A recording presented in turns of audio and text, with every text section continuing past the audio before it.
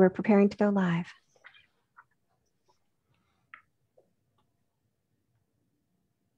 I would just give it a few more seconds. Okay. Great. It is Wednesday, uh, May 12th, and I'm gonna call this Transportation Policy Board meeting to order. And um, we're gonna start with some introductions. Can you uh, do that, Mark? I will. Um, and I'll just um, call out the jurisdiction and you can introduce yourself. Um, City of Olympia. Uh, Dani Madrone with the City of Olympia. And Tumwater, we have both our primary and our alternate. Pete Kmet, who's your primary, my primary representative for Tumwater. And Charlie, go ahead, Mayor. I'm sorry. Go ahead. Charlie Schneider is my backup here. Okay, thank you. Uh, City of Rainier. Uh, George Johnson, City of Rainier. And the great city of Tenino. John O'Callahan representing the great city of Tenino. Good morning, Sorry. one and all. Sorry, I stole your thunder there. Uh, Intercity Transit. Don Melnick, Intercity Transit. And our state government rep. Kevin Dragon with the Department of Enterprise Services. And our community rep and vice chair. Graeme Sackrison. Okay, and I see our WashDOT rep is here. Yes, good morning. John Winans is here, and I do have a meeting I'm going to have to go to before this one ends, but Gaius Sonoy is here to cover for WashDOT. Okay. If he hasn't signed in yet, he's on his way. Oh, okay. All right. And uh, North Thurston Public Schools. Good morning, Deanna Maddox, North Thurston Public Schools. Okay. I don't think I see any others that stuck in while I was talking. So um, for staff from TRPC, I'm Marc Daily. I'm the director. Um, we have Veena Tabbutt, our deputy director, Karen Parkhurst, Dave Reed, Berlina Lucas, Allison Osterberg, Michael Ambrogi, and Paul Brewster. Oh, and I'm not dead yet. Business representative Doug DeForest. Dang it. I came so close to getting it all done correctly. Sorry about that, Doug. That's um, all right. And from Thurston County, we have Matt Unzelman. From Tumwater, we have Mary Heather Ames. From Olympia, we have Sophie Stimson. And from Intercity Transit, we have Rob LaFontaine. If I have missed anyone else, that's please. Oh, and I see that Gaius Sonoy from WashDOT is signing in right now. I think we're And good to go, Chair. And I guess I'll introduce myself. Uh, my name is Andy Ryder, Mayor of Lacey, and the Chair of the Transportation Policy Board. with, with that, do you have some announcements, Mark? I do. We've got a, a, a lot going on right now. Um, as many of the jurisdictions are, are working on um, various requests from our congressional delegation, we are as well. We're putting together right a, um, application for Senator Murray's office. Um, folks may have have noticed that we received five million from the state legislature for our I-5 work. Um, we had requested 7.5 million for this particular piece that was funded. And so we're putting in a request to Senator Murray's office for the remaining 2.5 uh, million, and that's due on Friday. We're putting together for the for a raise grant, the um, rebuild America's infrastructure. Um, we're putting to, in the freight, uh, the freight uh, Thurston regional freight strategy that has been one of our unfunded pieces of work for a number of years now. We are putting together an application for that for the raise grant. Um, a, little, a reminder or a heads up that we've got a lot going on right now. So it is likely that we're going to need to call two hour TPB meetings for the next few meetings to, to make sure that we get through everything that we need to get through. Um, we've talked a bit about the transportation and equity poll that we're going to be putting out to the region. That's going to be coming out shortly. Uh, and so we'll be looking for help to get that distributed so we can get as many responses as possible. Um, we just updated the rural transit, RT rider, rider's guide. And we now have a printed and online version in Spanish, which is a nice improvement for us. Um, we just found out yesterday that FEMA selected um, Thurston County multi-jurisdictional hazard mitigation plan update uh, for a, a, grant for a um, pre-disaster mitigation grant.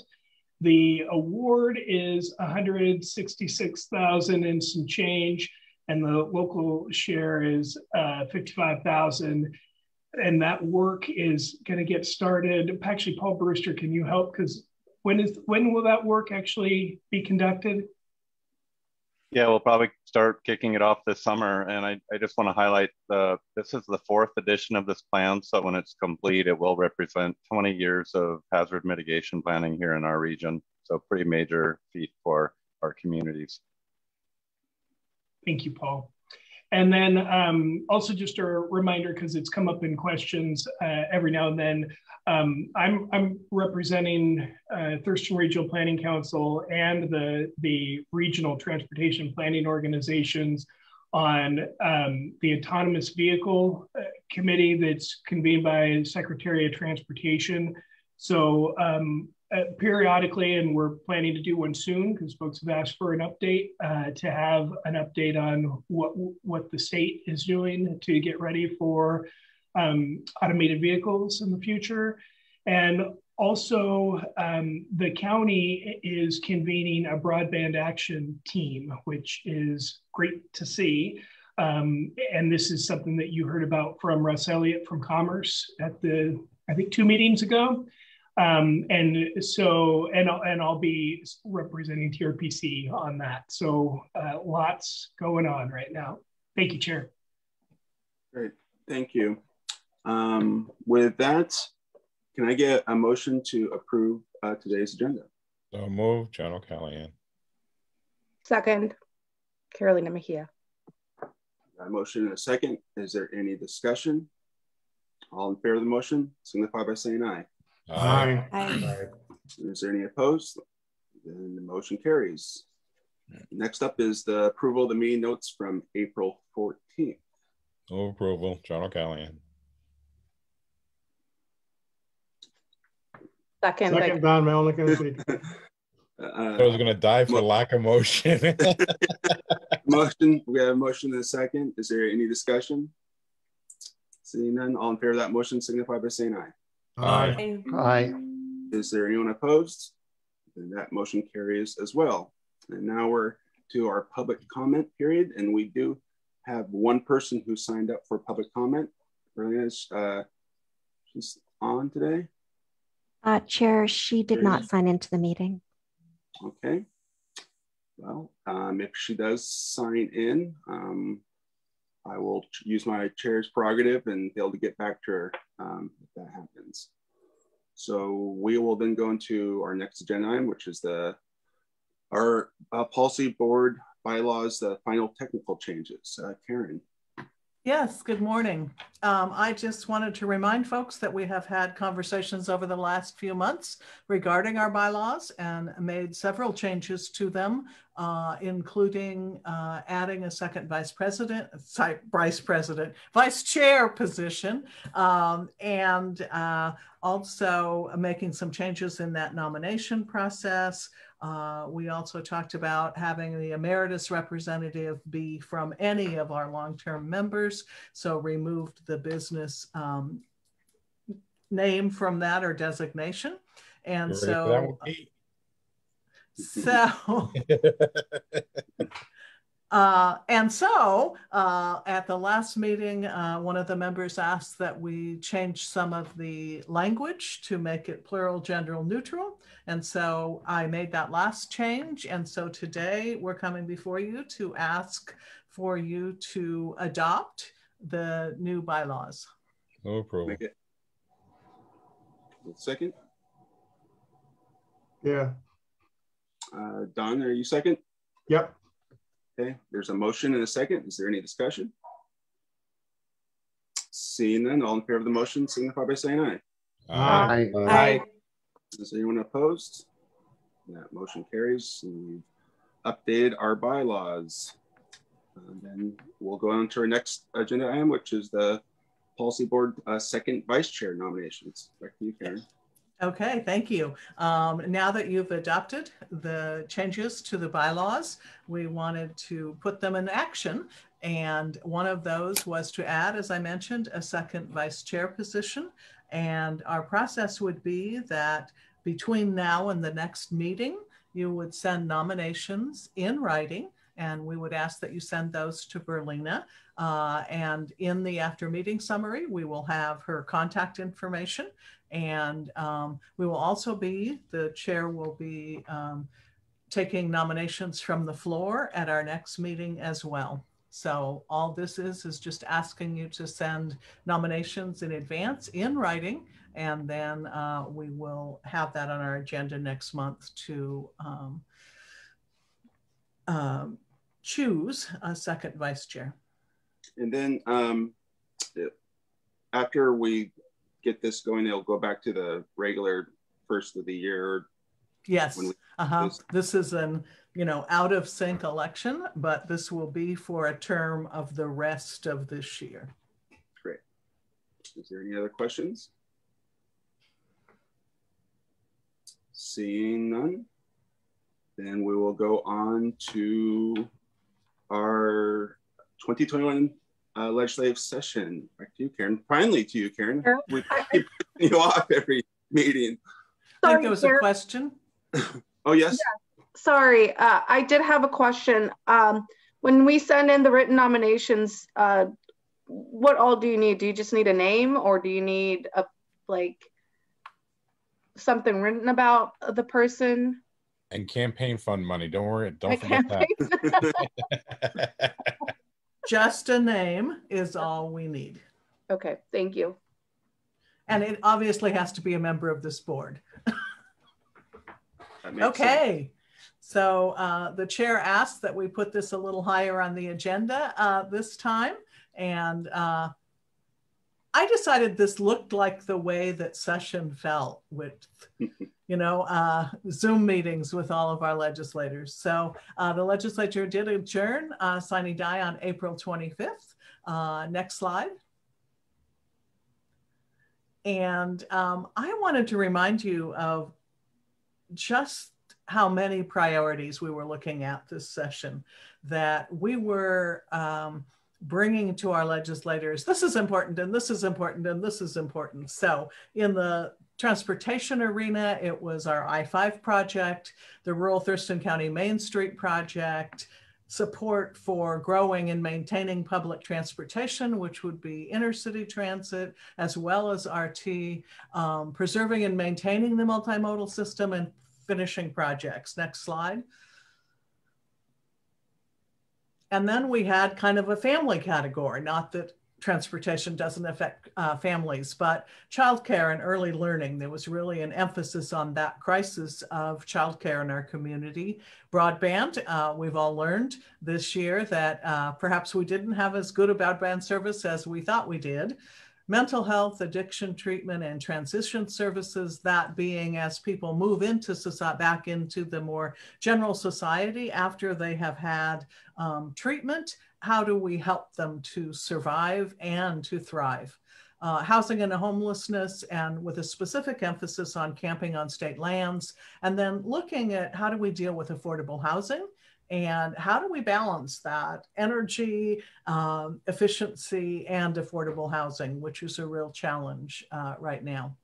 Next slide. Um, so then there was local government and the environment. And uh, as you know, we have shared revenues like the Transportation Improvement Board and other um, areas of shared revenue. And we always want to make sure that we ask the state to keep that funding going, coming to the local level, that we, that is a partnership. And often when there are problems with uh, funding issues, then they uh, tend to go, okay, we're going to take this money. And I understand that, but we'd like them not to do that. And then the environment, we were looking at removing barriers to um, implementing our local plans. And this was more of a hint this session Uh, the region is just just finalized the um, Olympia, Lacey, Tumwater, and Thurston County have just finalized the the first part of the climate mitigation plan, and they're continuing to work. So we assume next session there will be more specifics about what state law might get in the way of what we're wanting to do here, and then investing in mitigation lands um, for gophers so that uh, building can continue. Next slide. So what we learned, this is just a few numbers. They adjourned on time. They passed 340 bills. The governor has signed 192 of them, and that was true as of yesterday. Um, and he has done two partial vetoes. Uh, the remote session in general worked. We did have access to our members. Uh, it was, the hard part was the, um, the easiness of grabbing a legislator in the hallway obviously wasn't happening, but we ended up with some long meetings with our legislators via Zoom or other tools. Um, this one is really interesting, and I just heard this from um, representatives that were speaking about the session. So in the 2020 session, 18,700 people signed in to testify. This session, 67,700 people signed in to testify. So the ability to testify remotely, to not have to take a day off work, drive, um, perhaps a long distance, figure out how to park, um, all of those things, childcare, all of that uh, really made it easier for people to testify. There were some issues with that in that when you have 3,500 people sign in to testify for a single bill and you have a two hour meeting with a number of bills, then are people getting a chance to really speak? People also took mm-hmm. advantage of written testimony a lot this year. So, no matter what the legislative session looks like uh, in the next session, as far as whether it's remote or hybrid, I'm making an assumption that we were this legislature will still want people to be able to sign in remotely to testify. And then I just wanted to mention, since we were looking at telework issues, and we'll be talking about that later today in the meeting, um, that basically the Capitol campus rate of telework was about 6% before um, COVID. It's 80 to 90%. Uh, and starting to change a little, but we're still in, still seeing a really high rate of telework, and some folks like the Secretary of Transportation who are really committed to um, encouraging uh, folks to continue teleworking. And uh, we have heard from both the House and Senate that they will continue to let employees telework during the interim. And uh, for the Senate, that's like forever as far as they're concerned. They're also providing stipends for their employees to um, help support them at home. Next slide. So what we learned was, oops, there's an extra bullet. The legislature was serious about limiting the transportation projects. So the fact that we got $5 million in the budget for the I-5 project is a miracle. And really, uh, everyone helped to make that happen. Um, but Representative Barkis, who was uh, managing transportation for the House R's, really is devoted to this project. And so a big thank you to him. Uh, the next thing is that we had too many priority issues. It was hard to get through all of our issues. So we're going to need to, to really focus for the next session on not 20 issues, but maybe five, back to that again. And then as we prepare for the session, I think it's going to be really interesting that we that we see how things move forward, tax increment financing being one of the big ones that passed this year. Um, it will be important for us, even if we're not ready to implement them at the jurisdictional level, that we look at those pieces of legislation, see if there are problems with them, and um, try and remedy that early next session. Uh, the legislature likes to provide tools to the local government. They start reminding us when we don't use them. Hey, we gave you this. Why aren't you using it? So let's really uh, look at what would get in the way of us implementing um, what was passed this session. Next slide. So there was giant legislation. It felt like a tidal wave sometimes. Next slide. Um, there's always exciting things, but again, the $5 million for the bridges, uh, a real emphasis on mental health care.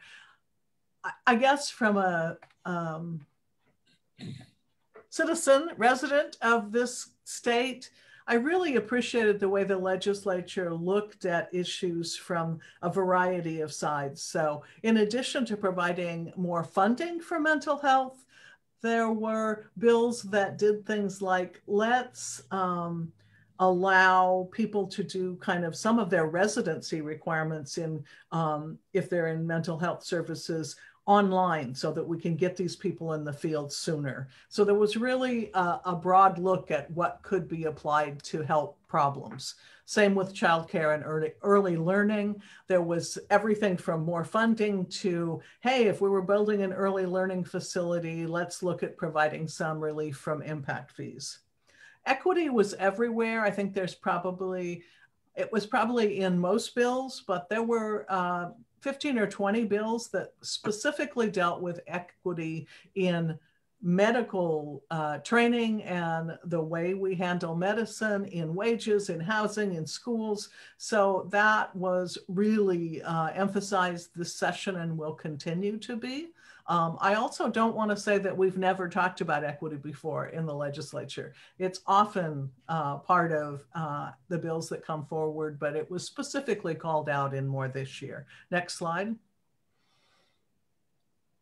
Um, obviously broadband we looked at broadening the organizations that could provide broadband and other kinds of telecommunications services talked about using the highway right of way to provide uh, for broadband access. So again, a, a, nice round 360 degree look at what we're trying to accomplish.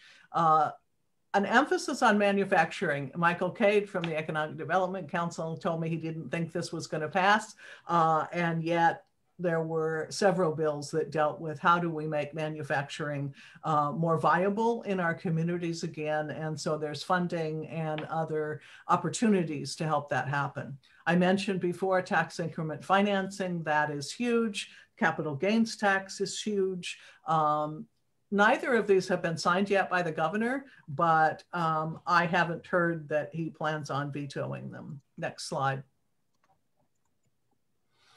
And then uh, climate and energy issues, the hydrofluorocarbon, um, again, looking at clean fuels, providing customer support for building cool roofs and trees, uh, forest management, and this is important for a variety of reasons. Most recently, our discussion has been around our climate mitigation plan and carbon sequestration and what does that look like. And so some tools for managing forests. And it's wrapped into some of the um, wildland fire kinds of um, conversations. So we're looking at the people that are preserving forests for um, agricultural purposes and other purposes. And we're also looking at it from a sense of um, how do we do better job of um, protecting our environment and people uh, with wildfires. Cap and invest, rate making, ride sharing, commute trip reduction programs. So the whole way that we're looking at energy and greenhouse gases, uh, several bills around that. And then electric vehicle infrastructure, looking at tax incentives, mapping. Uh, one that I was not as aware was a that was as much of a problem was the forecasting the need. So the electric companies, the providers, um, there are new requirements that they need to become much more efficient at um, projecting if by 2030 we're all driving electric vehicles, do we have the infrastructure in place for that to happen? And the answer right now is often no. And so looking at really trying to support that. Next slide.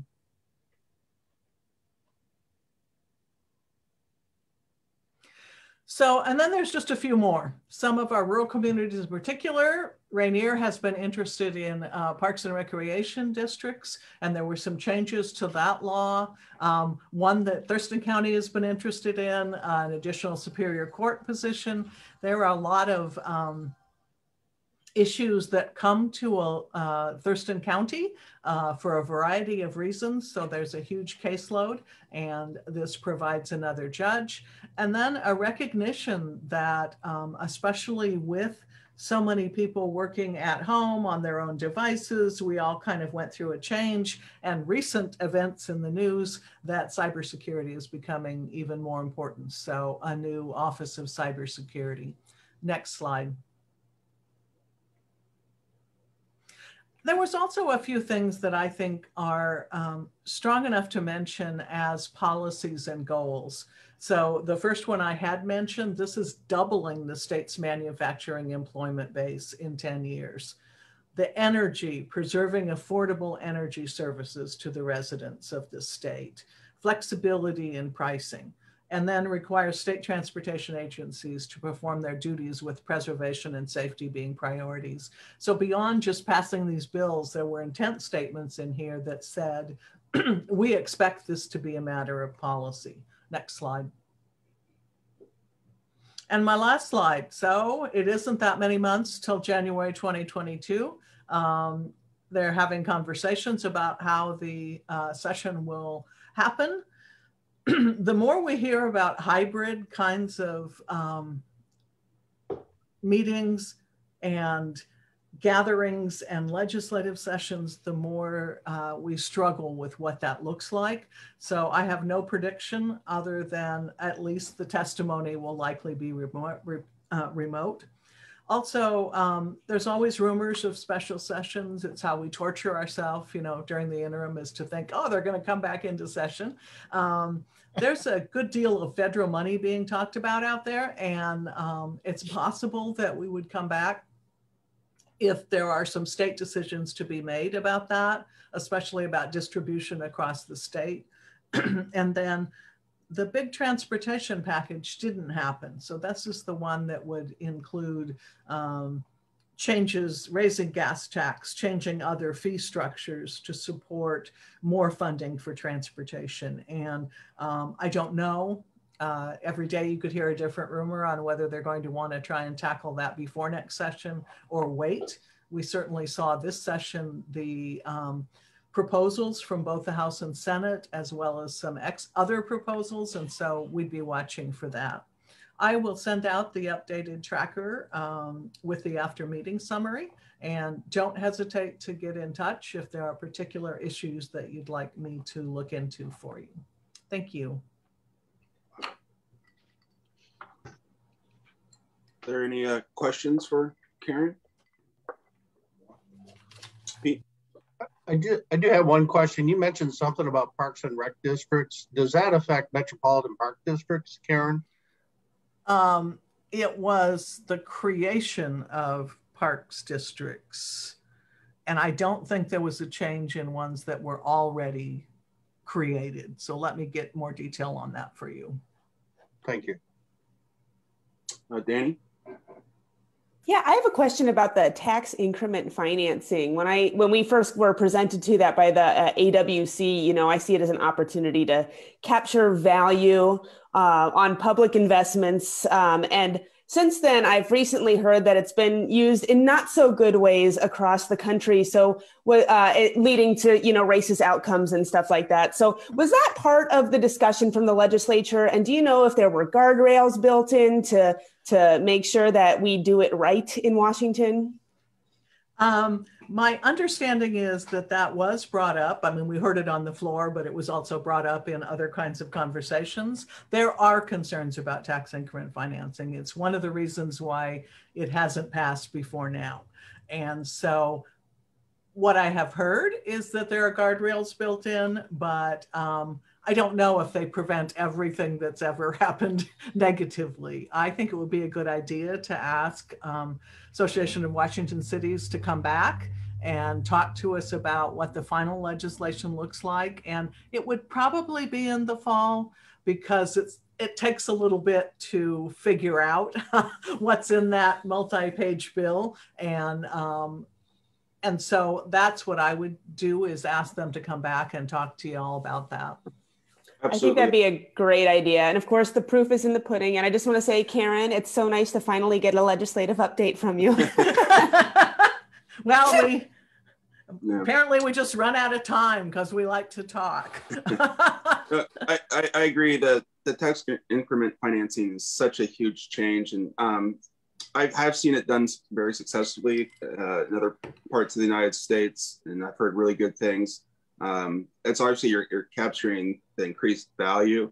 And so where, where, you've heard some things go wrong is when you when you've gone into some poor areas, right? Um, and that and then it's it's kind of completely changed, you know, the uh, the landscape in, in those areas. Uh, so anyway, there's there's some good and, and, some bad when it comes to these things, but it'd be great to hear how we're going to try to implement in, in, in Washington. Uh, John, do you have something? Yeah. Uh, did they did they even begin to discuss how they're going to make energy affordable, especially since we're we're eliminating this year all the coal fire plants that we have. For example, Centralia uh, should be closing down if it's not already closed down. Yes, absolutely. It's that transition is part of the conversation all the time. How do we get from here to here? Even if the future there are some assumptions that it will be less expensive.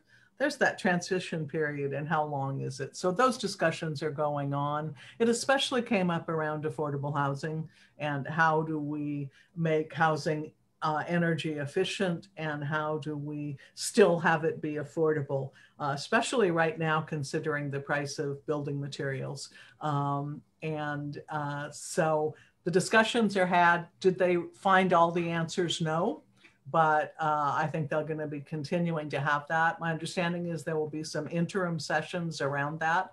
So when I find out about those, I'm happy to let you know about them and you can listen to some of those. You know, during the interim, they dig in and do a few more studies uh, in depth, and there are some studies in the budget for that. So did they have all the answers? No, but are they talking about it? Yes. That's good to know because uh, the reason that I bring it up is is uh, we had the president saying that by was it 20, 2030 or 2035 and you've got some car manufacturers saying by 2035 that they will not have any more gasoline uh, powered vehicles.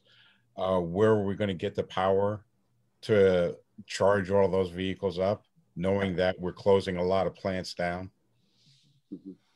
Yep. So it, it's a transition we're all going to be watching closely. Uh, if you hear anything, you think you can have somebody come and give us an update, please? I can do that. Thank you. Anyone else have any questions? I got See. lots of them. you know where to find me, John. yes, I do. Uh, so um, then let's go on to our next agenda item, which is our ethics and non-discrimination policy review. So it's.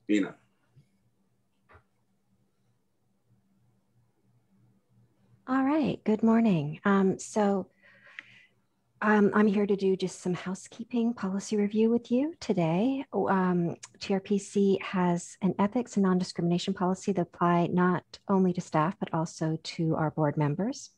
And so um, our ethics policy was updated three years ago, so you would have all been briefed on that, but we think it's timely to bring it back forward to you every three or so years. Plus, um, new members should get this in their orientation package. The um, changes are fairly small, but I thought there's a few other things I want to highlight in our ethics policy for you all today because they've come up over past meetings. So our ethics policy is put in place um, just to ensure that we do not have a conflict of interest or an appearance of conflict of interest. And so it goes through different um, categories. And I really would encourage you all to read it all in detail. I'm just going to go over a few highlights today. Um, one of the housekeeping changes we made is we made it gender neutral. Um, with all our policies, we'll be doing that. Um, so one of the areas that always comes up is gifts and favors. Um, when you're acting as a representative of TRPC, so this ethic policy applies to you all when you're acting on our behalf, not in your other functions of your life. Um, there, um, we ask that you don't accept gifts other than the exceptions below, and these exceptions are basically from the state law. or state um, guidance. And so it's okay to um, take de minimis gifts if they are given to you.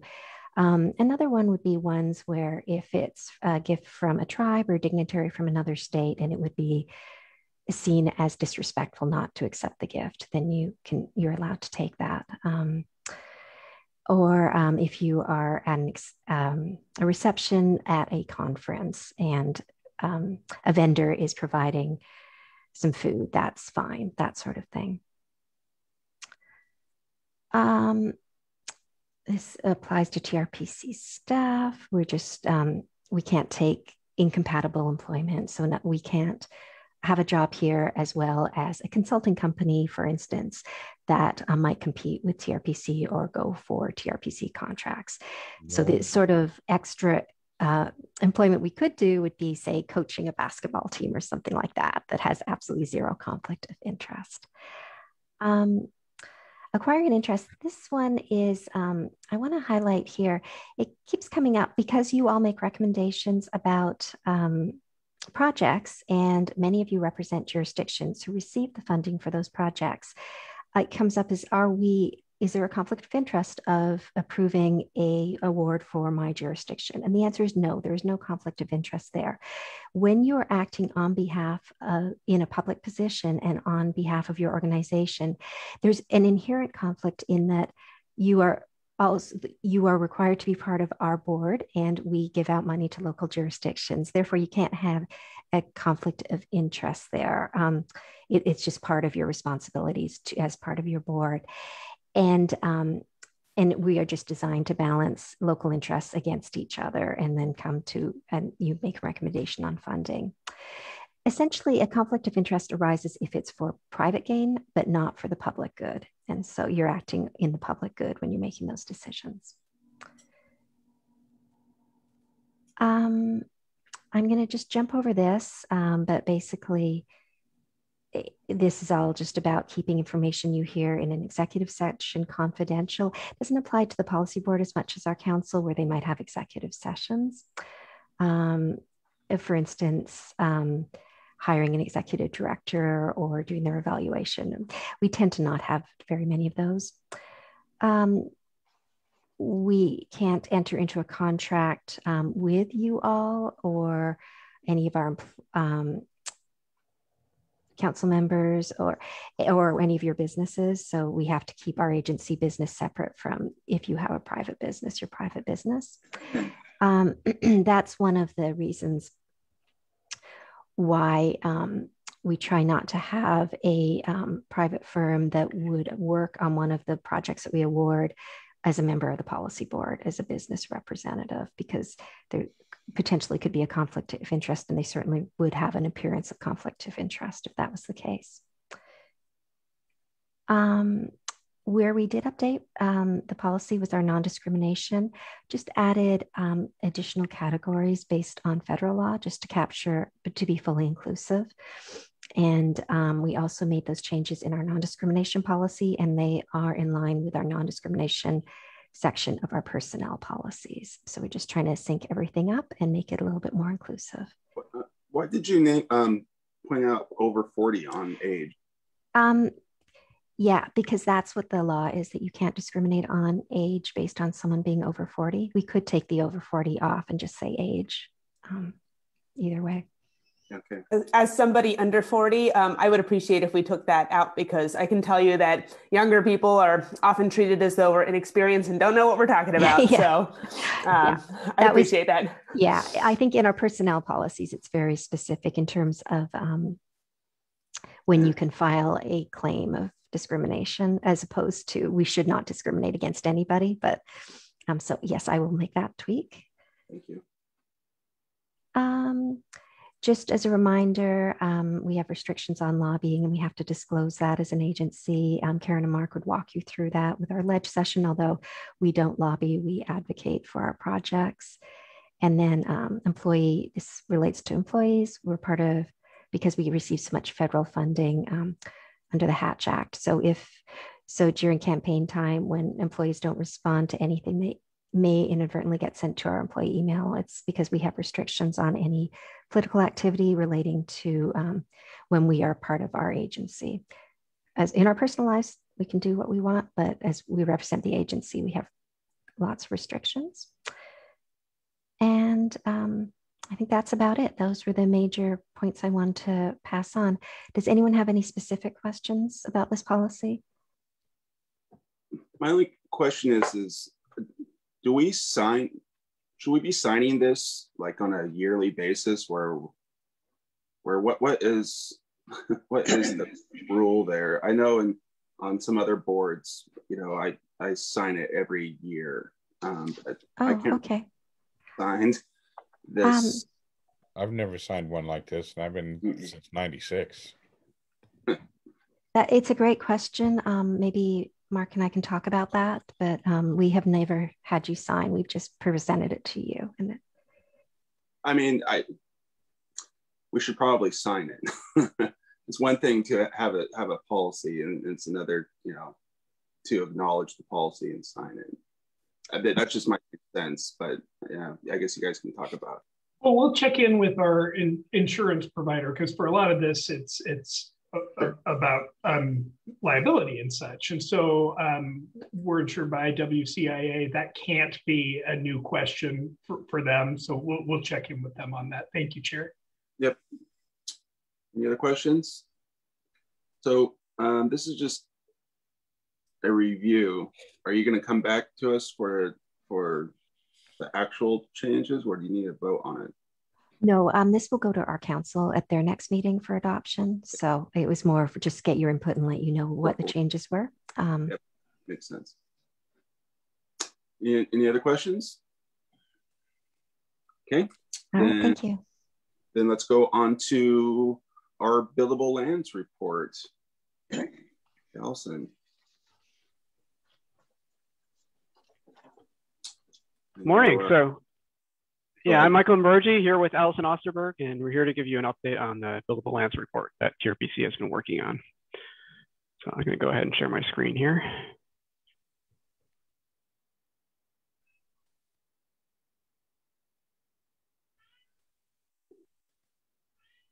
Everyone see that all right? Yep. Great. So buildable lands. So the Buildable Lands Program is a requirement under the Washington State Growth Management Act. Uh, GMA sets aside or identifies 13 goals that cities and counties across Washington State should be planning towards. And it kind of sets up the framework for planning within Washington State. So under those 13 uh, GMA goals, uh, you have the countywide planning policies, which are the collective goals of um, each county and the jurisdictions, the cities within it. The county in each uh, jurisdiction, each city has their own comprehensive plans, and then the development regulations with underneath that. And the intent here is that the development regs should be consistent with the city or county's vision. Those should be uh, consistent with the countywide planning policies, and all of that should be consistent with the GMA goals.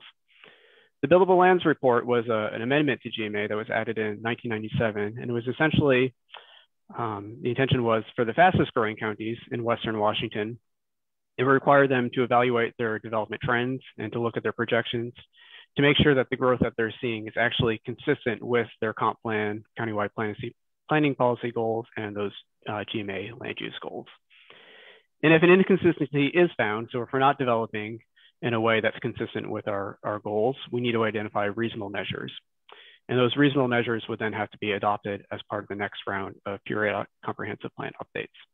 So again, it's a chance to look at development trends, uh, evaluate them to make sure they're consistent with our, our region's goals, and then to identify corrective measures that we would have to implement um, in, in, case we aren't. The Thurston County Buildable Lands Report, uh, the 2021 report, we've divided it into two different sections.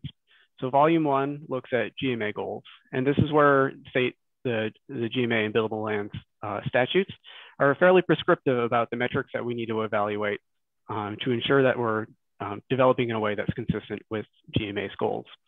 So there's two things we look at. We look at achieved densities. So those would be the average residential densities, housing units per acre for new development. And then we also look at capacity. So we look at um, whether there's enough buildable land to accommodate 20 years worth of both housing growth, commercial development, industrial development, et cetera. Volume two of the report looks at some of our regional goals, and that's namely our sustainable Thurston targets. The Sustainable Thurston was a community-wide planning project completed in 2013, and it identified a couple land use targets. So we use the second part of the buildable lands report to evaluate whether or not the growth patterns that we've seen and are projecting over the next 20 years are consistent with the Sustainable Thurston targets. We're going to go into um, some of these topic areas in a little bit more detail, show you some of the data, but just a, a quick preview of the report's findings. When we look at uh, our development trends compared to GMA's goals, we're doing pretty well. So we're, we're, we did not find that reasonable measures are necessary. We are developing consistent with GMA. Where we're struggling a little bit is with those sustainable Thurston targets. Um, that's where we're not quite on track to meet those targets. So let's dive into these uh, a little bit, little bit more. So as I mentioned, the first thing that we look at in the report is achieved densities. So this would be well, the intention here is that we want to make sure that the densities that we're seeing, the type of development that we're seeing within our urban areas is actually consistent with kind of urban character. And there's no kind of hard threshold for what an urban density is, but as a general rule of thumb, we use about four units per acre. So this chart shows um, the average density for new development um, within our cities, unincorporated UGAs, and then across both the cities and UGAs over the past 20 years. So when we look at densities across our urban areas, um, in the first part of the early 2000s, we were seeing densities of about 5.7 units per acre. And that's gone up to about over 10 units per acre, 10.6 units per acre for housing built in the past five years. So well above that four unit per acre threshold and densities that have been increasing over time. And just in general, we see higher densities in our cities compared to our UGAs. That increase in density that we've been seeing in our urban areas has really been driven by both the type of housing that's um, been constructed over the past five years and where that housing's been located. We've seen a lot more uh, housing development in our downtown areas along our urban corridors and kind of in our infill areas, those close in neighborhoods. And these are the parts of our, our urban areas that are zoned for the highest densities. So when we look at housing within our downtown areas and urban corridors, those would be, again, downtown areas and kind of the, the areas adjacent to our rapid transit corridors. We see housing densities of well over 70 unit, units per acre. So the increase in housing that we've seen, the new development that we've seen in those areas over the past five years has really driven that overall trend towards higher densities.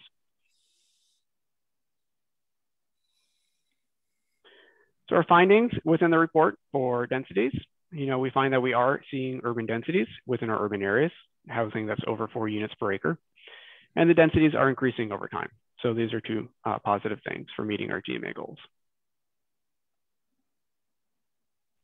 The next topic that we look at is capacity. And when we talk about capacity, there's kind of two topics that we're looking at. We want to know how much land is developable, and then based on zoning trends, how much housing could be built on that developable land. TRPC maintains a land capacity model uh, just intended for this purpose. And it takes into account on a parcel by parcel level, um, any existing development that might be on a parcel, commercial buildings or housing. It looks at uh, what's allowed under zoning, as well as kind of um, trends and average densities for each uh, zoning district. And it also looks at any environmental constraints that might limit development. So we kind of combine these three factors to come up with an estimate of, of those two topics, whether how much land is developable and how many dwelling units could be built on it. On the residential side, when we look at uh, capacity for new housing within our urban areas, uh, our model finds that there's about 85,000 housing units that are on the ground right now in Thurston County's uh, uh incorporated and unincorporated urban areas. TRPC's model shows that there's capacity for about 50,000 new units. But when we compare that to the demand, uh, how much housing we actually expect to be built over the next 20 years, we find that the demand is for about 41,000 new units. So this gives us an excess capacity of about 18%. So the capacity for uh, new housing exceeds the demand uh, over the next 20 years by about 18%. I'll believe that when I see it. we go through a, a pretty similar uh, methodology for commercial industrial capacity or for commercial industrial lands. So kind of similar rundown here when we look at uh, commercial land, we find that there's about 2,400 acres of land that are developed right now for commercial purposes. TRPC's model estimates that there's about 2,200 acres that are available for commercial development. And we compare that to a need of about uh, 1,200 acres, giving an excess capacity of 45%. On the industrial side, we have a little bit less industrial land uh, that's developed right now, about 1,100 acres, capacity for about 1,700 acres, and a projected need for about 200 acres of commercial, or excuse me, industrial space. So that gives an excess capacity of about 88%. I like to highlight here that the, you know, compared to the residential evaluation, the excess capacities for commercial industrial land are, are much higher. Um, and there's kind of a good reason for that.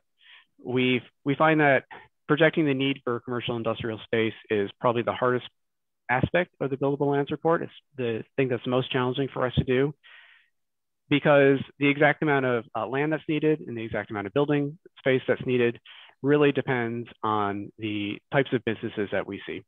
So you could have two businesses that are in a similar industry, but their uh, space requirements and the land requirements could you know, dramatically differ. So having that larger amount of excess capacity really acts as a buffer to account for some of the uncertainty in our projections for commercial and industrial um, building space and land need. So again, the findings for uh, capacity within our urban areas. So the question is, is there sufficient buildable land in the urban areas to accommodate 20 years of residential uh, development, as well as commercial and industrial development? And we find that yes, there is sufficient land for both uh, housing and commercial industrial growth, acknowledging that there's a lot more uncertainty for our commercial industrial uh, needs. So again, going back to the elements of the, the Thurston County Buildable Lands Report, when we look at those GMA goals, you know, we're doing well for densities and we're doing okay for uh, capacity. And, and based on those findings, uh, reasonable measures are not necessary. So reasonable measures, again, being those corrective actions uh, that we would have to identify and that the cities would have to implement as part of their next round of comprehensive plan updates. Based on the findings of the 2021 report, we are we find that those measures are not necessary. Doesn't mean that everything's uh, okay right now. We definitely acknowledge that there are a lot of challenges, both to uh, realizing the capacity that we've projected and some uncertainties around our forecast. We've kind of highlighted a, a few key aspects here. So one big one that always comes up is infrastructure in the in TRPC's analysis, we assume that development, or excuse me, the infrastructure will be extended as development occurs. So that includes uh, both sewer, water, you know, electricity, all those key infrastructures. As a new housing development goes in, the infrastructure will be extended to it.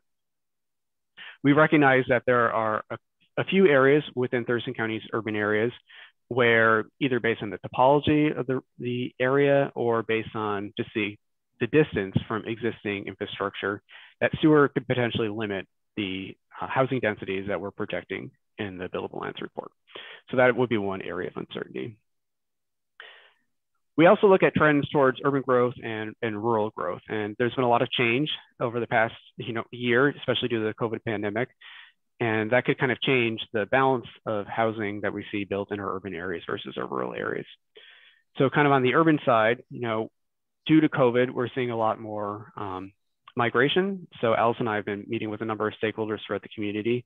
And one group that we met with was some real estate folks, and they're saying that they're seeing a lot more clients coming from um, outside of Washington State and from the, kind of the Seattle metro area looking for housing within Thurston County, um, both the urban areas and the rural areas. So big trends like that, which um, weren't necessarily evaluated as part of the report, could sway how much housing we actually see in different parts of the county. Another topic that I've called out is kind of the difficulty in developing rural lands, and this has come up a little bit over the past, um, uh, through the update of this report as well. So will factors like uh, the availability, uh, the ability to get a permit exempt well in the rural areas, or will endangered species listings, will that limit the ability to develop uh, rural lands and push more growth to the urban areas? kind of on the rural side, again, just going back to the COVID and telework, you know, now that we have a lot more people teleworking and they can work work remotely, work from home, does that mean that we'll see a shift from our urban areas to our rural areas? And finally, the kind of last area of, um, I guess I would call this a challenge is housing affordability. So our mandate under the buildable lands report is to evaluate whether there's enough um, buildable land and enough developable land within our urban areas to accommodate the growth, but we, we don't factor in the cost of developing that land. So housing affordability really isn't an issue that we get into with the report. So we're finding that there's enough buildable land to accommodate the development, but um, there could be some challenges around uh, actually developing that land in a way that's affordable for the people that uh, future residents of Thurston County. So again, a number of areas of challenge or a number of areas of uncertainty. And then I mentioned earlier sustainable Thurston. So at this point, I think I'm going to hand it off to Allison to talk a little bit about um, kind of our regional goals. Great, thanks, Michael. Um, so as part of the Buildable Lands project this time around, we really wanted to look in addition to the GMA goals, how are we doing on our own regional goals that we set through Sustainable Thurston? And Sustainable Thurston was a community-wide conversation that uh, set out a vision for how Thurston County would look, function, and feel in what we wanted that to be in 2035. And it broke things down into different categories. There are strategies for the North County centers and corridors, having dense urban centers, uh, having a mix of options in residential neighborhoods, around smaller hubs, and in the South County communities, uh, focusing on economic development and maintaining a small town feel, and then preserving rural character and critical habitat in our rural lands. Go ahead, next slide. And Sustainable Thurston is um, also a vision for for transportation, for how transportation would work. A lot of that is set on how are we providing services in an efficient way um, and how on our corridors um, will people be able to use transit to get around, walk, bike, access the services they need while limiting vehicle miles traveled. Uh, and what we're what we're seeing right now uh, as part of the buildable lands and going into this is that while we are seeing denser development in our urban centers on our corridors, although we have mixed use zoning, we're actually not seeing a lot of mixed use development. So right now we will have uh, different types of development that's happening there, but it's not not always particularly mixed use, a mix of residential and specifically.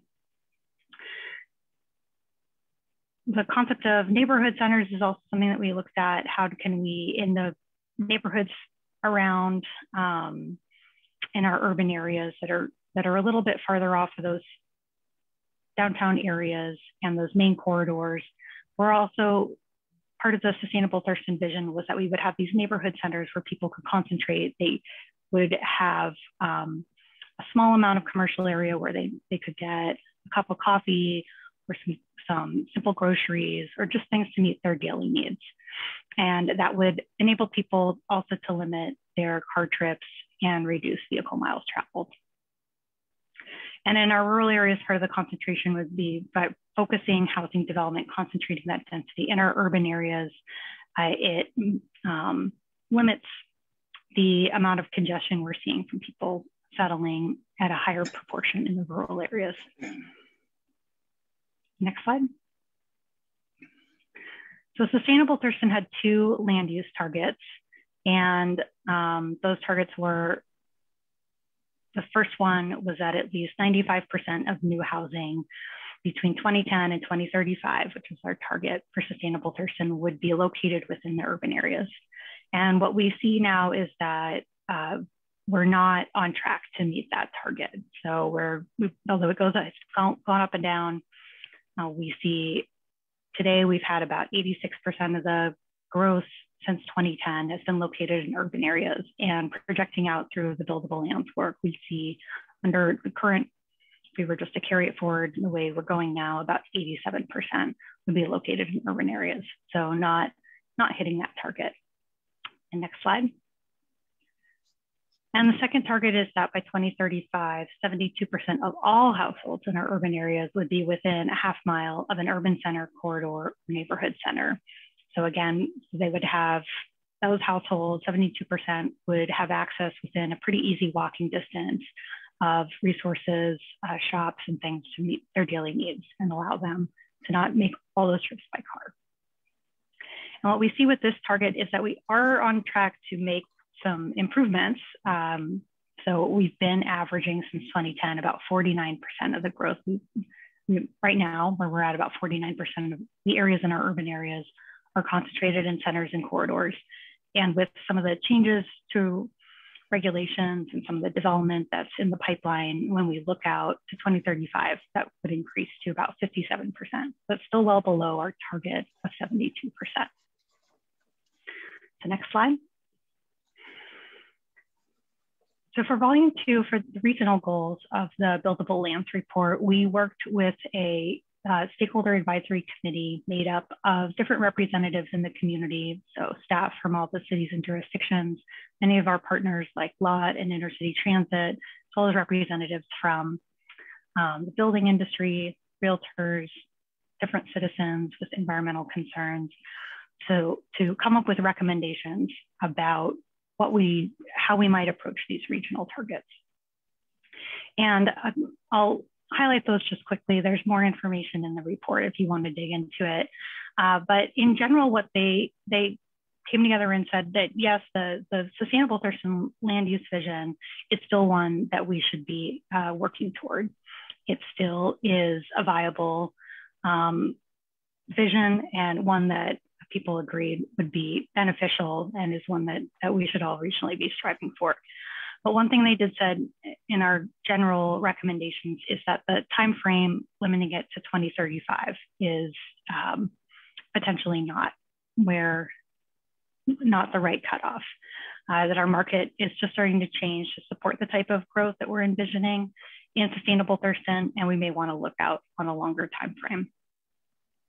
Another general recommendation from that group was to have folks look at uh, that it would be really important to articulate the trade-offs of the type of development that we might see when a development is located in a way that doesn't meet the sustainable Thurston. That there be a, um, a way of understanding what the trade-offs of that might be to uh, public health, to housing affordability, to climate change, uh, because these targets sustainable Thurston land use targets were adopted in the Thurston Climate Mitigation Plan. So any development that maybe doesn't meet this goal will make it harder for us to meet some of our other regional goals, and that should be understood when they're being permitted. We also looked at what would be some options for urban centers and corridors to see, particularly in our corridors, how can we see the type of denser growth that we are starting to see in our city, in our city centers, and um, how might that change things? And in the broader urban areas, urban growth areas, we talked about strategies similar to some of the things that have been done to encourage a greater mix of, of housing types um, and also to look at those infrastructure constraints. Another area we looked at was neighborhood centers. When we have a lot of areas that are sort of designated as neighborhood centers, they're maybe not functioning, functioning the way that we thought they, we hoped that they would in the sustainable Thurston vision. And so what might be some ways to do that? Um, there are some recommendations for the South County communities and also for rural and resource lands. How can we better protect, particularly our natural resource lands around agriculture and forests? So go ahead to the next slide.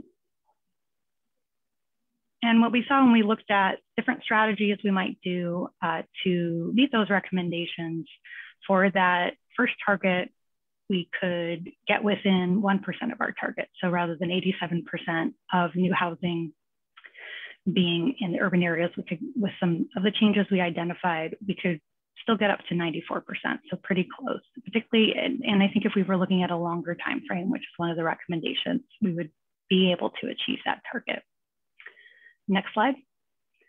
For the second target, the strategies, again, would, would definitely make a difference. Uh, so you would see 66% of our growth within the urban areas within a half mile of an urban center corridor or neighborhood center. And that's still an improvement over that 57%. And again, that might be something because we're looking at all growth, not just the new growth, uh, that might change over time if we have a longer time frame. Next slide. So um, we're coming to the end of the buildable lands process. Michael and I have been giving a lot of presentations to wrap this up. We are, our next steps are to we'll provide a briefing to the Board of County Commissioners for sort of the ultimate client for the buildable lands report. And it will come to TRPC. Uh, they've had their first review and they'll come to accept the plan in June. And then we provide the report to the Department of Commerce under our agreement. And that information is really meant to be used by the cities and the county in their comprehensive plan updates. And it's important to remember that buildable lands is, um, we look at trends, we look at the best information we have. Um, it kind of paints a picture of what could happen, but it's up to the jurisdictions and part of the public process to say, is that really the vision that we want? Are there things that we could do to change it? And that's a conversation um, that buildable lands can be a tool to facilitate those discussions as part of comprehensive plan updates. And with that, we will take any questions. Can you um, stop sharing your screen, please? Yes. Do we have some questions, Pete? Well, first of all, thank you for the, for the work on this. I did take a look at the report sort of backing up this presentation. I, I would agree that um, first of all, neighborhood centers are a challenge. We we designated neighborhood centers around the Tumwater and uh, city limits in UGA, and they have not really uh, um, come to be. And I think one of the challenges is your typical small grocery store on the corner just can't make it under the given the costs of commercial development. Uh, and uh, I'm not really sure what the solution to that is, but uh, almost all of the areas we originally designated as neighborhood commercial, we've eliminated because they're now wanting to make those residential areas. So, so I don't, I don't really, again, know the solution, but I think, I think uh, that is, if that's an important element of reducing car trips, then somebody's got to figure this out. Um, um, part of, part of the challenge uh, in our large urban growth areas, very small part of it's actually served by bus service, and so a lot of our outlying areas, even though they're within so-called city limits, um, there's no no way for them to reduce car trips. So, so I, I didn't see that really discussed in the report, and I think that's an important part of this.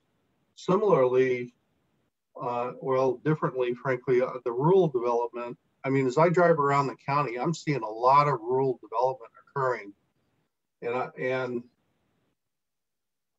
when I look at your projections, uh, particularly a slide, the last slide 18, but even the two earlier slides, um, I didn't see any of the actual data in the report backing up those those slides. I just saw dots on a graph. The actual data backing up those dots is not presented in the report, so it's a it's a little hard for me to to look at your projections and how they were made. But if you look at the last three or four years of what percent of development is occurring in the rural areas uh, versus urban areas, it's very it, it, it's to me it, that straight line projection is wrong. Uh, it's going that if you actually look at what's happening out there there's a lot more rural development occurring.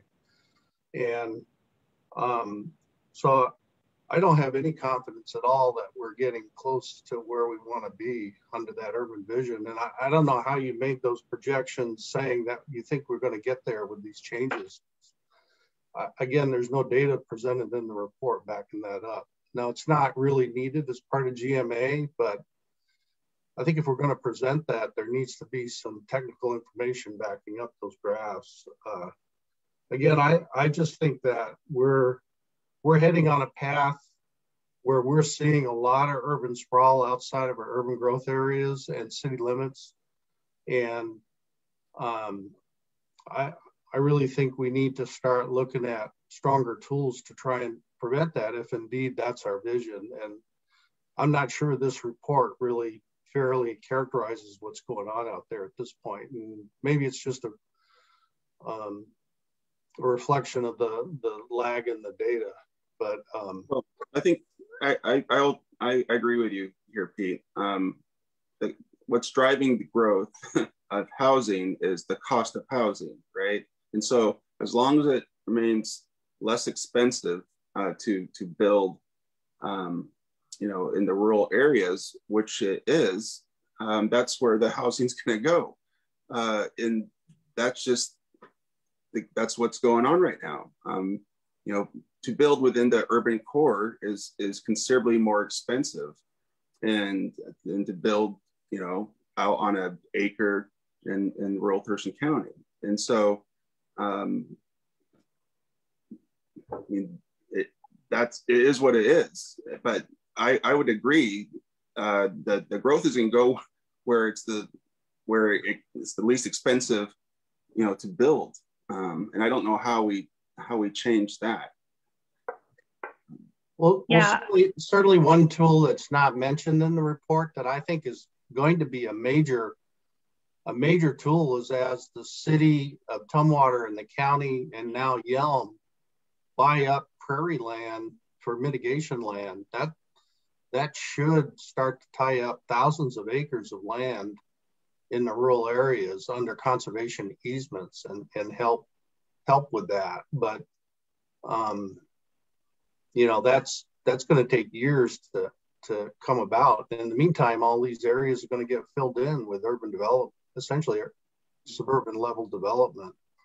So I, I just think the report, um, again, while we're technically meeting the GMA uh, uh, requirements really understates the challenge of the rural sprawl that we're seeing and, and how we what we need to do to try and address that. Well, especially sorry, sorry how, how do we have what are the strategies to address it too? I mean, this is it's a it's a report out, but um, and it says that we're on track, but I, I, I tend to agree. I don't it doesn't feel like we're on track and so it feels like we we do need some strategies to and to get there right uh, doug Can i just go ahead i just wanted to respond to a couple points there one is that i think what we see what we saw in the buildable lands report is that we are on track for what the state expects for us under gma and we are not we are not on track to meet our own regional goals um, and we are not, particularly for the urban rural split, we are not in tra track to change anything. It hasn't changed much since 2010. We've been cold and steady at about 86%, and we are going to stay there in the future. Um, and so that doesn't put us on track. I think what we looked at, and, um, Michael would know more about the data that goes in there, but what one thing that came up a lot was that the regulatory tools that we found in many cases for neighborhood centers, for, for corridors, are in place. But the market factors, there's there's a private market consideration, and you guys hit it on the head. The cost of developing in our urban centers is high and the cost of putting a, gro- a small grocery store in a neighborhood center it doesn't pencil out for people and so we may need to get more creative at looking at, at partnerships that would bring in the type of development that we want to see. Uh, so those are some of the strategies that we started discussing in our in our group. But those are things for the cities and the county and folks to, to continue thinking about going forward. Doug? Uh, am I on, on? Can you hear me? Yep. Okay.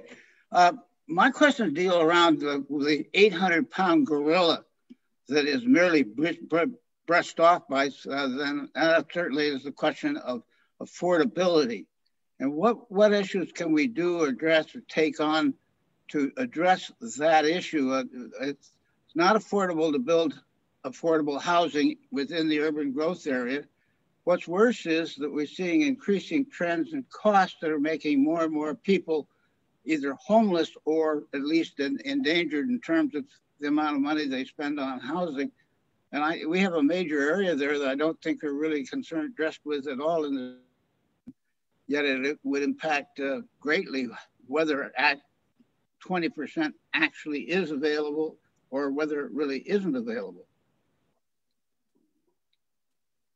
So a couple things that we can talk about with uh, housing affordability. One is that when the legislature amended some of the buildable land statutes, uh, the most most recently, they did add some requirements towards affordable housing. So as part of that, they directed Commerce to develop some guidance on housing affordability. So that's not something that's addressed in each county's individual um, buildable lands report, but that is something where Commerce, the legislature identified as an, a priority, and Commerce has developed some guidance for um, cities and counties when they update their comp plans to address uh, housing affordability. The other thing that was kind of a, the great thing about the timing of doing the buildable lands report this time around is that uh, the cities of Lacey, Olympia, and Tumwater were able to get some funding, again, from Commerce to develop uh, housing affordability, housing action plan to address that affordability side. So at the same time that we were updating the buildable lands report, those three cities were working with TRPC to develop a uh, regional housing action plan that could not kind of dive into this affordability issue. So even though it's not addressed, addressed directly in this report, I know the, the cities are doing a lot of work right now to um, identify some solutions to that housing affordability issue. Well, I sit on, on several of these housing plan groups, and quite frankly, the, the real issue that they keep ducking is the question of affordability. Uh, it's all well and good to have nice plans and nice strategies and nice sounding words, but the reality is that uh, we have uh, increasing numbers of homelessness, increasing numbers of people who are, are cost burden one way or another. And uh, those are trends that, that unfortunately are not going down, they're going up. I see someone has raised their hand on the telephone. Go ahead. This is Kevin Kessinger. Okay, um, I agree with Doug. Uh, I think it's weird that the um, that affordability is mentioned in the in the challenges section, um, but it's not mentioned in the recommendation section. And I wonder about the list of in in the recommendation section in parts of bullets five and six talks about things that can be used to encourage development, um, multifamily tax exemptions, parking requirements, impact fee waivers. A, I wonder if there's additional ones not listed there, like height requirements, density requirements, setback limitations, and other things like that.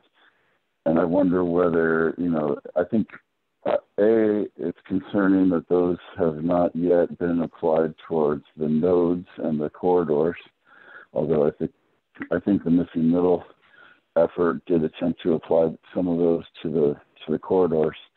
Um, but can any of those be applied towards affordable housing as well? Uh, Dani?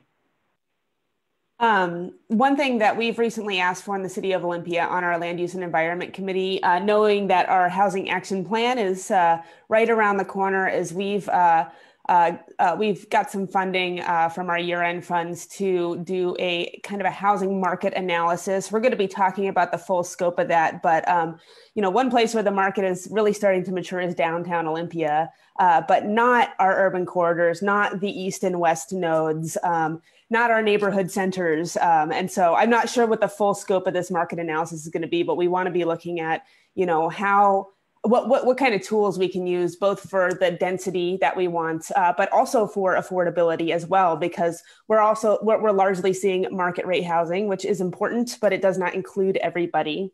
Um, I also, I really want to appreciate the, um, the wider urban areas uh, part of this report and also uh, lift up Pete's comments about how you know access to public transit should also be considered in that component not just you know infrastructure and sewer and stuff like that. And another thing that we're working on in Olympia uh, with the loss uh, with, with the threatened loss of Spooner's uh, farm is you know what what about you know our capacity to grow food in the urban area? Um, there's a lot of uh, ties in our comprehensive plan that support urban agriculture, but also finding ways that urban areas can support preservation of rural agriculture. So um, uh, we're, we're in we're in a process right now uh, working with the Thurston Conservation District and the Community Farmland Trust to figure out what what our role is for uh, agriculture preservation. Um, and one of the things we've talked about is like what maybe there's parts of our urban growth areas that it doesn't actually make sense to build, and there's prime farmland there. Uh, Thurston Conservation District has actually done an analysis of all uh, active and potential farmland that currently exists in Olympia and the UGA. And so that's going to be something that we use to, to guide our next steps. Um, uh, and I'm also very, very interested in the transfer development rights or land swaps, which I saw uh, mentioned in that memo. I think there's a lot of opportunity to uh, create more density specifically on transit lines and neighborhood centers um, uh, to, to preserve areas that we, uh, we make a, a, specific goal of preserving. Um, and also, just in regards to neighborhood centers, our planning commission is going to be taking that up again this year, uh, and hopefully, hopefully, we'll figure out what we can do uh, to really uh, boost neighborhood centers. I live two blocks from the Olympia Food Co-op, and it is just amazing to be able to walk to the grocery store. And I want so many more people to be able to do that. So I, I want to thank Michael and Allison real quick for for uh, you know I, I actually I found that memo. Um, uh, the, the memorandum in our packet uh, really, really helpful in terms of connecting some of the work that we're doing in Olympia to some of the regional work that's going on. So thank you. Thanks, Dani. I, I'm really interested in, in hearing, um, you know, what Olympia comes up with, with with your studies as well, because, you know, we need to all be sharing that information. Uh, do, do we know when the report is going to come out on the corridor study? I, I mean, we've, I know that uh, we've been working with TRPC to see that that Martin Way corridor study with some strategies behind it. When when, when is that going to be available? You mean the the final report for Martin yeah. Way? Yeah. It's probably going to be next year, um, sort of the earlier part of next year. But but we're actually on tap to come back to TPB next month and give an update on Martin Way. So I, I think there's actually Martin Way is a, is kind of a case study for a lot of these a lot of these issues that we see. So it's been nice to be doing them in tandem because the, it, um, there's some really specific examples on Martin Way that apply to some of the things we've looked at. So, I mean, um, yeah, um. I think Martin Way is prime for redevelopment, but um, again, there's a there's a cost involved, and so if we could look at transfer development rights for that for the corridor, or some other strategies like that, that would be that'd be great. So I'm looking forward to that. Does anyone else have any any questions? Uh, Don? I just, you sort of touched on in your good report, the notion you did speak with re realtors and the sense is maybe we're going to be really in, impacted by the Seattle exodus, exodus and the California exodus. And I'm wondering if you have any sense yet how that's going to, is that really going to push things significantly, do you think? It would highlight that as an area of uncertainty. I think so much has changed in the past 12 months that it's really to be determined how much of an impact that'll have on kind of the distribution of housing within our county long term. So we know we do update this report um, periodically. TRPC updates its um, population forecast um, roughly every three to five years. So I think the next time we do that, we'll have a much better sense of what the long-term implications are there's a lot of kind of competing things going on at the same time. There's just more people moving to Thurston County from out of the area, and then there's that kind of shift within the county of people moving from urban to rural areas. So, uh, two different trends happening uh, simultaneously. Thank you. Just want to add to, to what Don was talking about. Uh, I just got a study from uh, Puget Sound Regional Council, and among other things they say is they are two years behind in building sufficient housing within their own area. That means that those people are coming more and more down the road. Now, I, I, I get kicked that saying that we, we have more capacity than demand. There's that's we're not even yeah. There's so much demand right now, which and it's skyrocketing the, the price of housing. But it's expensive. They can pay the price.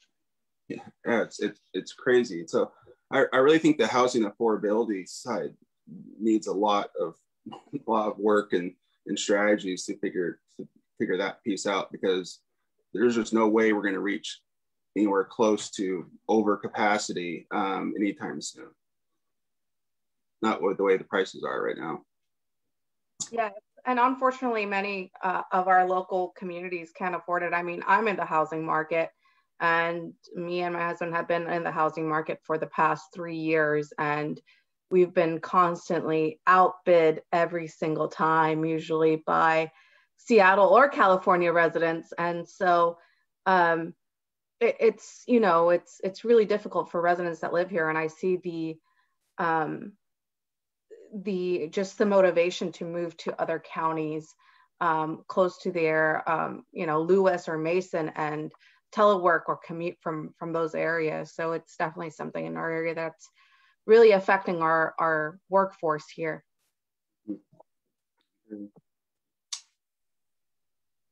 Okay, Don. One more quick thing, just transit access, public transit access was an issue.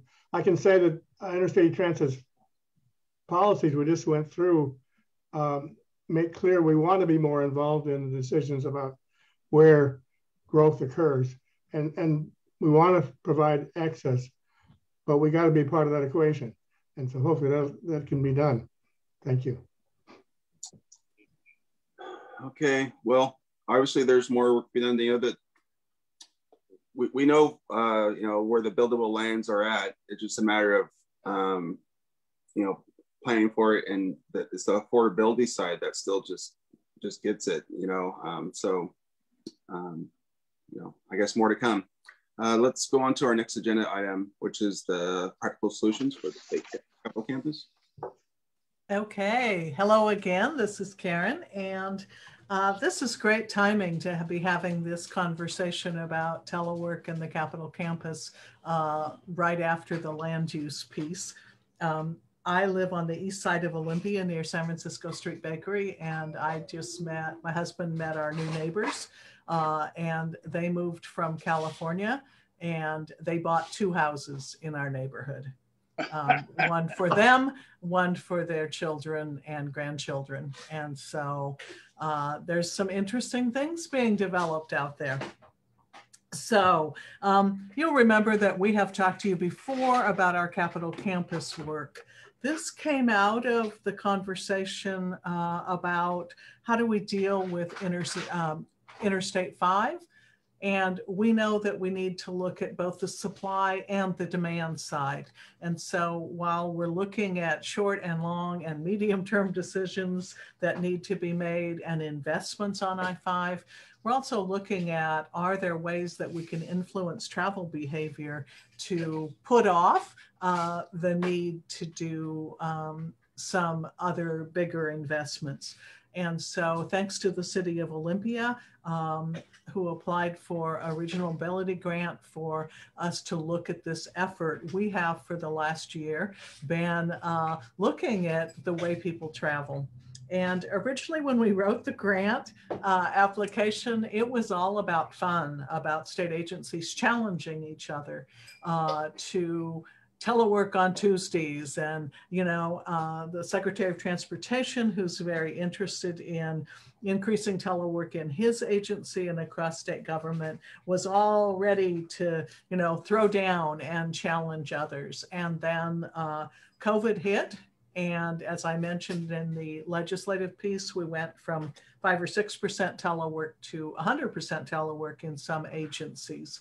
And so we knew that um, our job was no longer about it being fun, that this wasn't a time to do fun challenges and the like, but rather to react to the reality of COVID, the reality of a huge increase in telework by looking at making sure we had as much data as we could gather during this time, talking to state agencies and others about what the challenges are that they were facing, uh, such as broadband access, such as, wait a minute, can people work from out of state?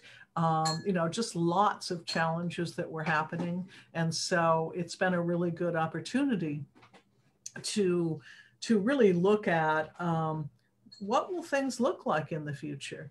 and uh, another piece of the buildable lands piece that, that, that we were talking about, we're looking at um, what we've heard from some real estate folks is there's some interest in having bigger houses and ones with more doors because that open space was not working when you had the family with you 24 hours a day. Um, we talk about uh, outside buyers, as I mentioned at the beginning. Um, we're also looking at uh, organizations really rethinking how much office space they need. So again, Department of Transportation uh, got out of a lease in Seattle and has combined offices in downtown Seattle. Um, and that's a huge impact on uh, their bottom line and what it was costing for that second rental. And so there are many ways that COVID and uh, the way we work are influencing um, our buying habits. Is it possible after a year of COVID with people staying in their neighborhoods more um, and working from home? Will those neighborhood centers work a little better? Would that pencil out better if you have more people that are in the community? So, lots and lots of things to study. And I'm really excited. Um, to uh, have a speaker today. First, I'd like to recognize Veronica Jarvis which, um, from TRPC, who is our my cohort on this great project. And then I would like to introduce Kate Lister, who is the president of Global Workplace Analytics. Um, if you talk to anyone across the country and have questions about telework or what its impacts are in both the public and private sector, uh, Kate's name comes up. We talked about putting a panel together um, for one of our presentations with Kate, and people that we contacted said, "Well, Kate has all the answers. Why? Why would you ask other people to be there?" So now I've just set her up to have all the answers on everything. So um, I would like to turn this over to Kate Lister, and I think that um, uh, Veena will be running her slides. And so let's move into that. And then I have some questions afterwards, and I really encourage you to ask questions as well. Thank you. Kate. Wow. Thanks for that introduction. uh, I've been listening to a, a, little bit of your conversation here for the last 15 minutes, and it's just such an important dialogue. And there are so many issues around this, and there's no one right answer. Um, you can go to the next slide, Veronica. Uh, you know, I'm sure you have my bio somewhere, but I, I, think it's important to know that while I've been pushing this remote work walk uphill for over 17 years, and now it kind of feels like it's chasing me and everybody else down the other side. Um, I'm an advocate not because you know I particularly like remote work, but because of the research that I've done that has shown me the people, planet, profit, and societal benefits that it offers. Um, I'm a former banker.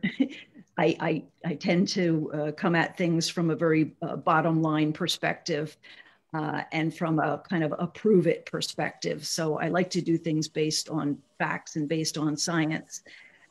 But having said that, I, I recognize and I, I fully acknowledge that every organization needs to do what's right for them uh, every team within an organization uh, and every individual. And uh, that's going to be different from one, one organization, one state, you know, one whatever. We're all unique. We can't all be Google, not that we all want to. Uh, I've written five books, uh, all published by John Wiley and Sons, and contributed to a number of others. The most recent, uh, curiously, started about three years ago from a report I did for the International Labor Organization on the impact of telework on work life balance. And that was t- uh, turned into a book uh, published by a peer reviewed uh, publisher, Edward Elgar. And it came out in, of all times, uh, December of 2019. So it was rather timely. I wrote the US chapter. It was a six country study of, of remote work. And you can guess from the um, International Labor Organization, it, it was really about how is technology uh, hurting our lives uh, and how is it improving them? Next slide. I've worked with some of the largest uh, many large employers and some of the largest architectural firms, uh, design firms, uh, corporate real estate firms, who often bring me into their projects as the, uh, the, the guru on remote work. Next slide. And, and in terms of, you know, why I, uh, why I'm brought into those, I, I've I've spent the last 17 years, as I said, collecting everything I can find, everything I put my eyeballs on that has to do with workplace research and what's good for people, planet, and profit, and cataloged it in a, a, a library. I've got 6,000 notes that are fully tagged, so that I can uh, do a search on, for example, telework and productivity, and come up with thousands of hits. And then if I do the combination of the two, come up with 900 hits so that when I'm talking to a C suite, I can really talk with authority that this is why we think telework is going to improve your productivity. And here's the 25 case studies to prove it. So, with that, uh, let me talk about some of those facts. Next slide. The uh, US uh, government does a federal employee viewpoint survey every year. And fortunately, the last one uh, was uh, uh, fielded in September through November uh, of, of, last year. And so it captured a lot of what was going on in government. They also do another report called the State of, or the uh, Annual Report to Congress of Telework. Unfortunately, the last one that they did was fielded just before the pandemic. And so we won't know for some time how, how that one pans out. But the viewpoint survey includes a lot of uh, telework questions. And what they learned during the pandemic was that uh, almost 60% of employees, uh, federal employees, worked at home uh, pretty much full time. And that's compared to 3% before the pandemic. Next slide. They also found that, uh, you know, engagement which had been held steady and, and really going nowhere for the last several, several years, jumped substantially and all of the contributors to uh, in, engagement, you know, both from a leadership point of view, from a supervisor, and from the uh, the workers' experience. So all of those things went up during the pandemic. Next slide. Same thing, they asked a number, and they probably asked about 30 questions on workplace experience. You can download the report for yourself and look at it. But again, every factor, if you just look at the the, the trend in all of these went up. My workload is reasonable. Uh, I know what's expected of me in the job. I feel encouraged. So, you know, I think most employers uh, and, and even myself was fairly surprised at how quickly the uh, employee population and organizations were able to pivot on this. I mean, transitioning to a substantially remote work experience or you know a hybrid experience is something that we would have spent six months to a year or even longer working with a large organization to, to, try to uh, make that an orderly transition. And boom they, they did it overnight. Next slide. Uh, we did a survey uh, together with a uh, firm that we work with often called Iometrics, uh, that we were pretty much one of the first ones out of the gate uh, after the pandemic started with a, a, really robust survey sample. We had uh, over 20,000, over 2,000 uh, respondents, um, not just in government, but I'm showing you the government slice here. Um, and ask questions like, how successful do you feel working from home? Now, this was fielded in March and April. So this was, you know, this was very early on and 73% were saying we feel very successful. I think the number the, the number in the private sector was almost exactly the same. Another 20% said that they felt moderately successful.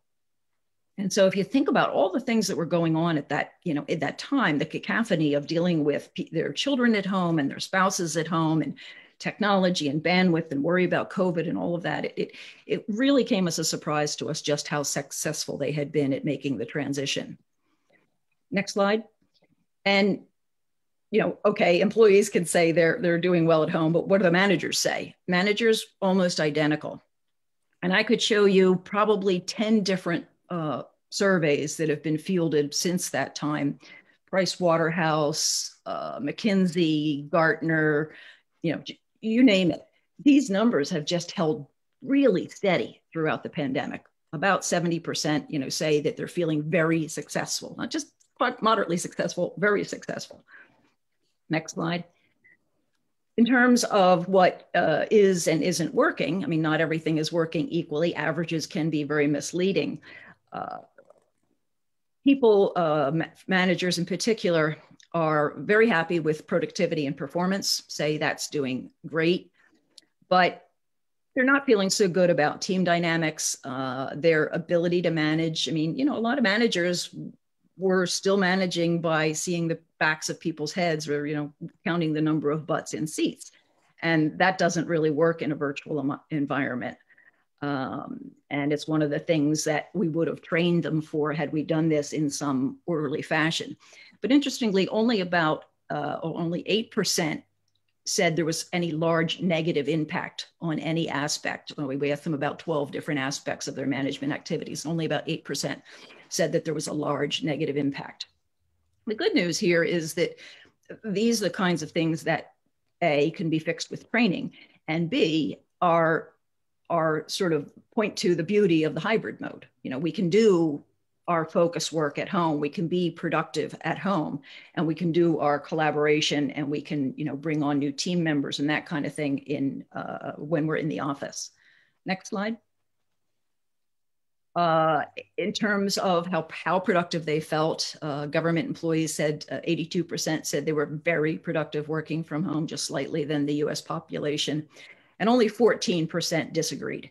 10% in government said that they, they didn't feel successful at home and and you know there's there's very real i don't i don't think i have demographics in here but we we found very clearly that uh, the younger population is struggling most and that was kind of a, a, surprise to us because you know you think the younger population they know how to use technology you know they've been been doing virtual since they were born uh, but it turns out that they don't have the home space uh, that somebody older might have. They don't have the confidence in their role in the organization.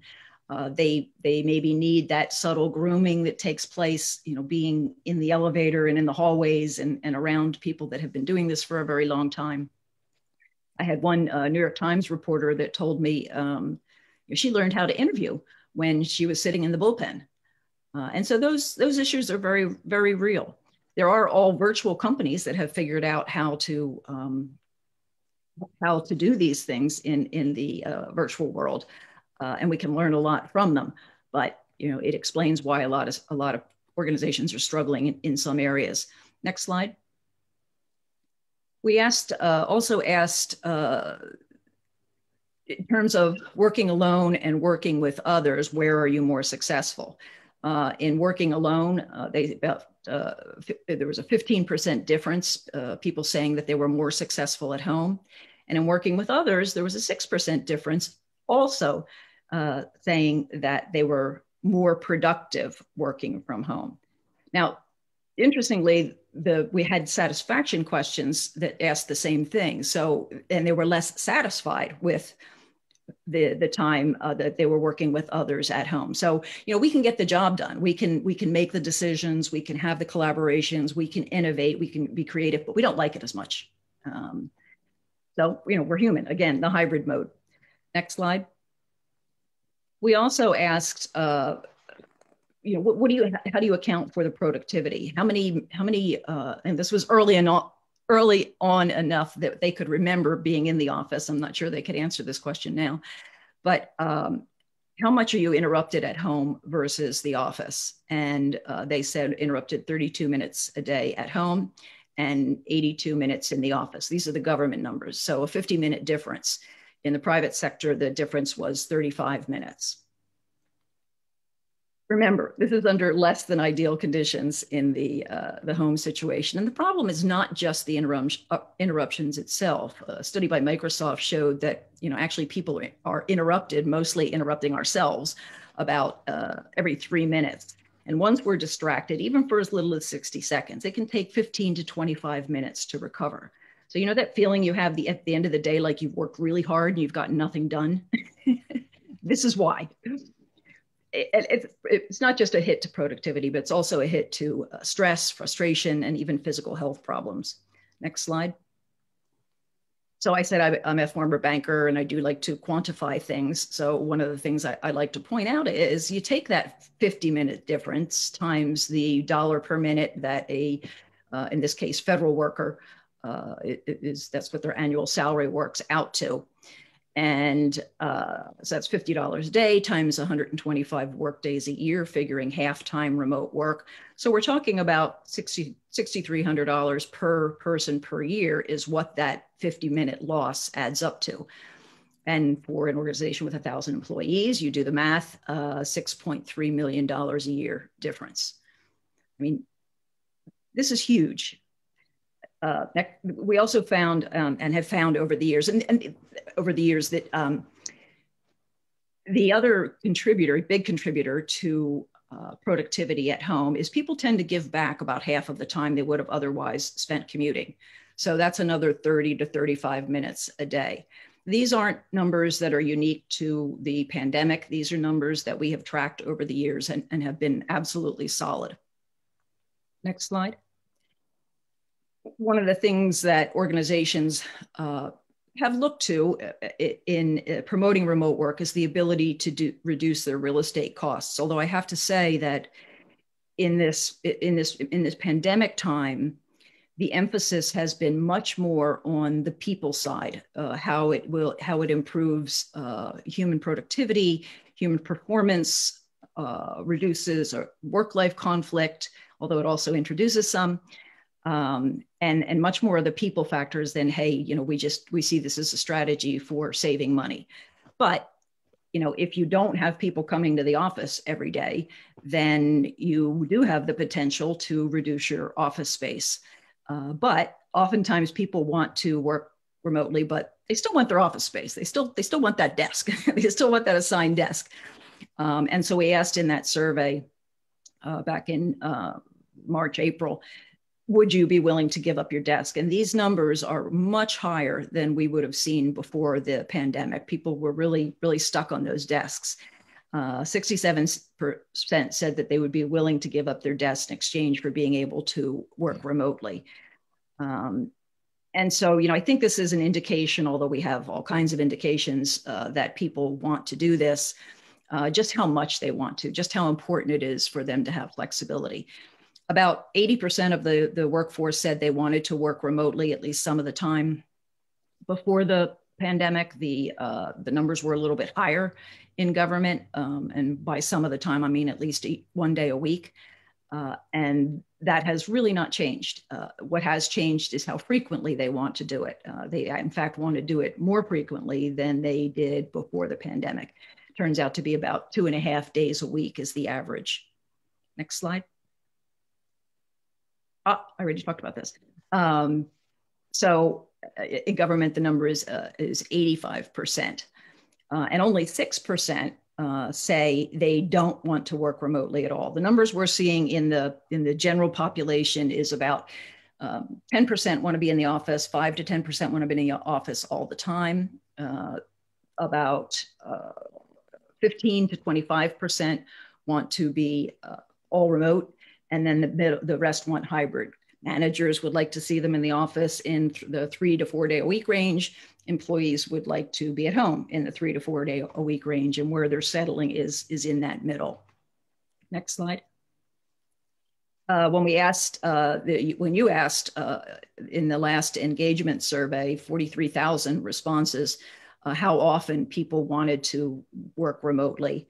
Uh, you can see the distribution here. If you look, you know, at the big ones, the, the blue, the orange, uh, and the gray, that's more than once a week, with the blue being uh, full time. So higher than the numbers I was saying in, in, in the general population. And again, only 6% uh, say they never want to, and only 17% say that, uh, you know, their, their position just doesn't allow it. I think one of the things that we all learned during this is that uh, people a lot more people can be successful working remotely than we thought. It was kind of the 7% privilege before the pandemic. Uh, and the 7% included the older, more senior, uh, uh, higher ranking executives that got to do it. Next slide. Uh, in another survey that we did with a company called Owl, Owl Labs, and this was in September of last year, we had 2,500 respondents. We said, you know, okay, what if your employer said uh, you, you can't work remotely? Well, 66% said they would stay and be less happy. 54% uh, said that they would be, uh, they'd stay but be less willing to go the extra mile. Maybe these are really the kind of employees you want to have around, right? Uh, and about 46% said they would look for another job. Um, a, a, fairly large percent also said they would expect a pay increase if they were asked to come back into the office. Next slide. Uh, Gartner did a survey in December of last year and found that 90% of HR leaders uh, said that they would allow employees to work remotely. So that's a huge change over what we've seen in the past. Next slide. Um, and you know, in terms of quantifying the benefits, I had the honor of testifying before Congress last July on the expansion of telework in government. And based on a calculator that we developed, um, that I'll, I'll, show you an image in a minute, uh, I testified that the government could save $14 billion a year if those that were already documented, already deemed eligible to work from home, work did so uh, half time or more. Uh, that testimony is available both in video and, and written. I'll, there's a link at the end here for you. Next slide.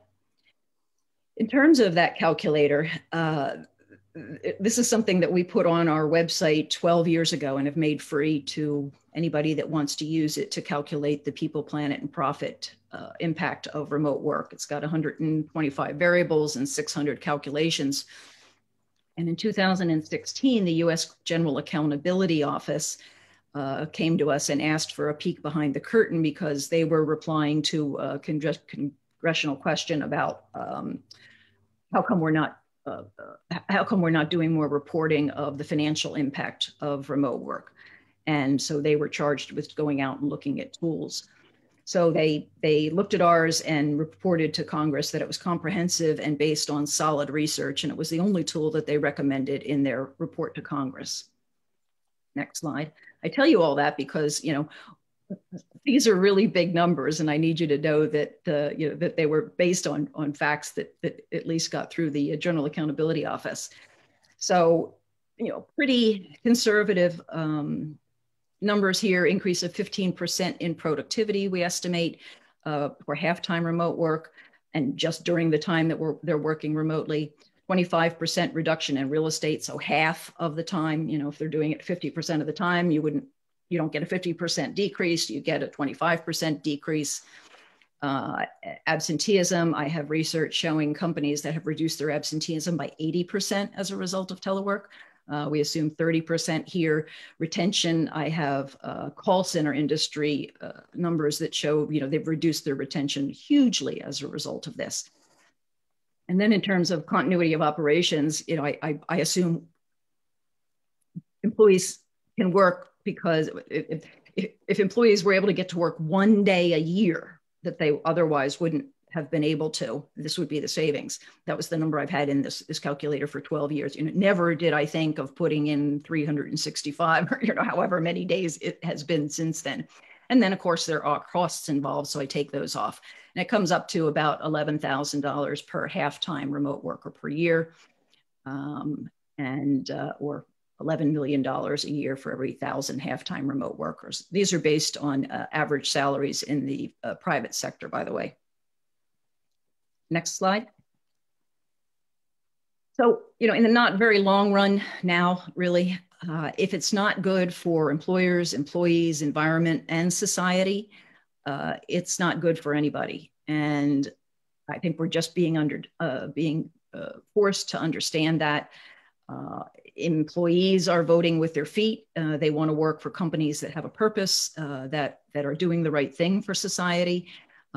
customers are voting with their feet, and investors are voting with their wallets. And you know there is just no no better way in my mind to tick all of these boxes. Next slide. It's, you know, I'm not saying there aren't challenges. There are a lot of challenges, uh, particularly because we haven't gone through the orderly transition to this hybrid approach or this remote work approach. So, you know, these are some of the things that we're working with uh, with companies right now uh, to try to, to deal with the, the question of equity. Um, who can, who can't? How do you treat the people that are in the office the same that people uh, are not in the office? Uh, companies are feeling this cultural disconnect uh, with with not having people in the office and, and a sense of uh, loss in team dynamics. They're having trouble bringing on new employees uh, and you know bringing them into the uh, the culture. And as I mentioned, younger workers and parents are are having the most difficulty. And overworking is huge. I mean, the, the stress level in organizations is is just over the top, uh, and as a result, well-being is is uh, for, for, the first time in history. Gallup reported that uh, employee engagement is up and well-being is down. I mean, they just can't quite do that. Uh, they they went in opposite directions, and they always thought that those things were. Um, uh, that were paired. You, you know, you had to have one to have the other. So, you know, they're going through this analysis of, geez, what changed? Um, and then there's, you know, just all the stress of, of everything else that's going on. So, you know, some of these things will be fixed when we get back to being into the office part of the time. But this is not just, this, this is a strategic change. This is not a, a tactical one. And we need, really need to address it at the top level of the organization. And if there's a, uh, a silver lining to the pandemic, I think it's that has lost, lofted this conversation of where, when, and how people work to the uh, to the to the corporate leaders, uh, to the organizational leaders, to the, the heads of government. So, Karen, I, I believe that you've got some questions, and then I would love to take any questions from the audience. I think concerning the time we're at, I think I will ask the audience first, um, our membership, if they have questions. Can you stop sharing your screen, please? Great, thank you. Uh, Doug? Yeah, I got, got some concerns. That your survey is de devoted entirely to the employee side of the coin, whereas I'm interested as a customer in the customer side. And I had found two major concerns. Number one is the quality of the work. Uh, I dealt with one organization three or four times on the telephone, no success. Finally, waited in line for an hour to get into the office and got the answer in 15 minutes. So the quality bothered me. The second thing that bothers me more is security. Uh, a lot of those people that are on telephone telephones, I think, are on their own home phones.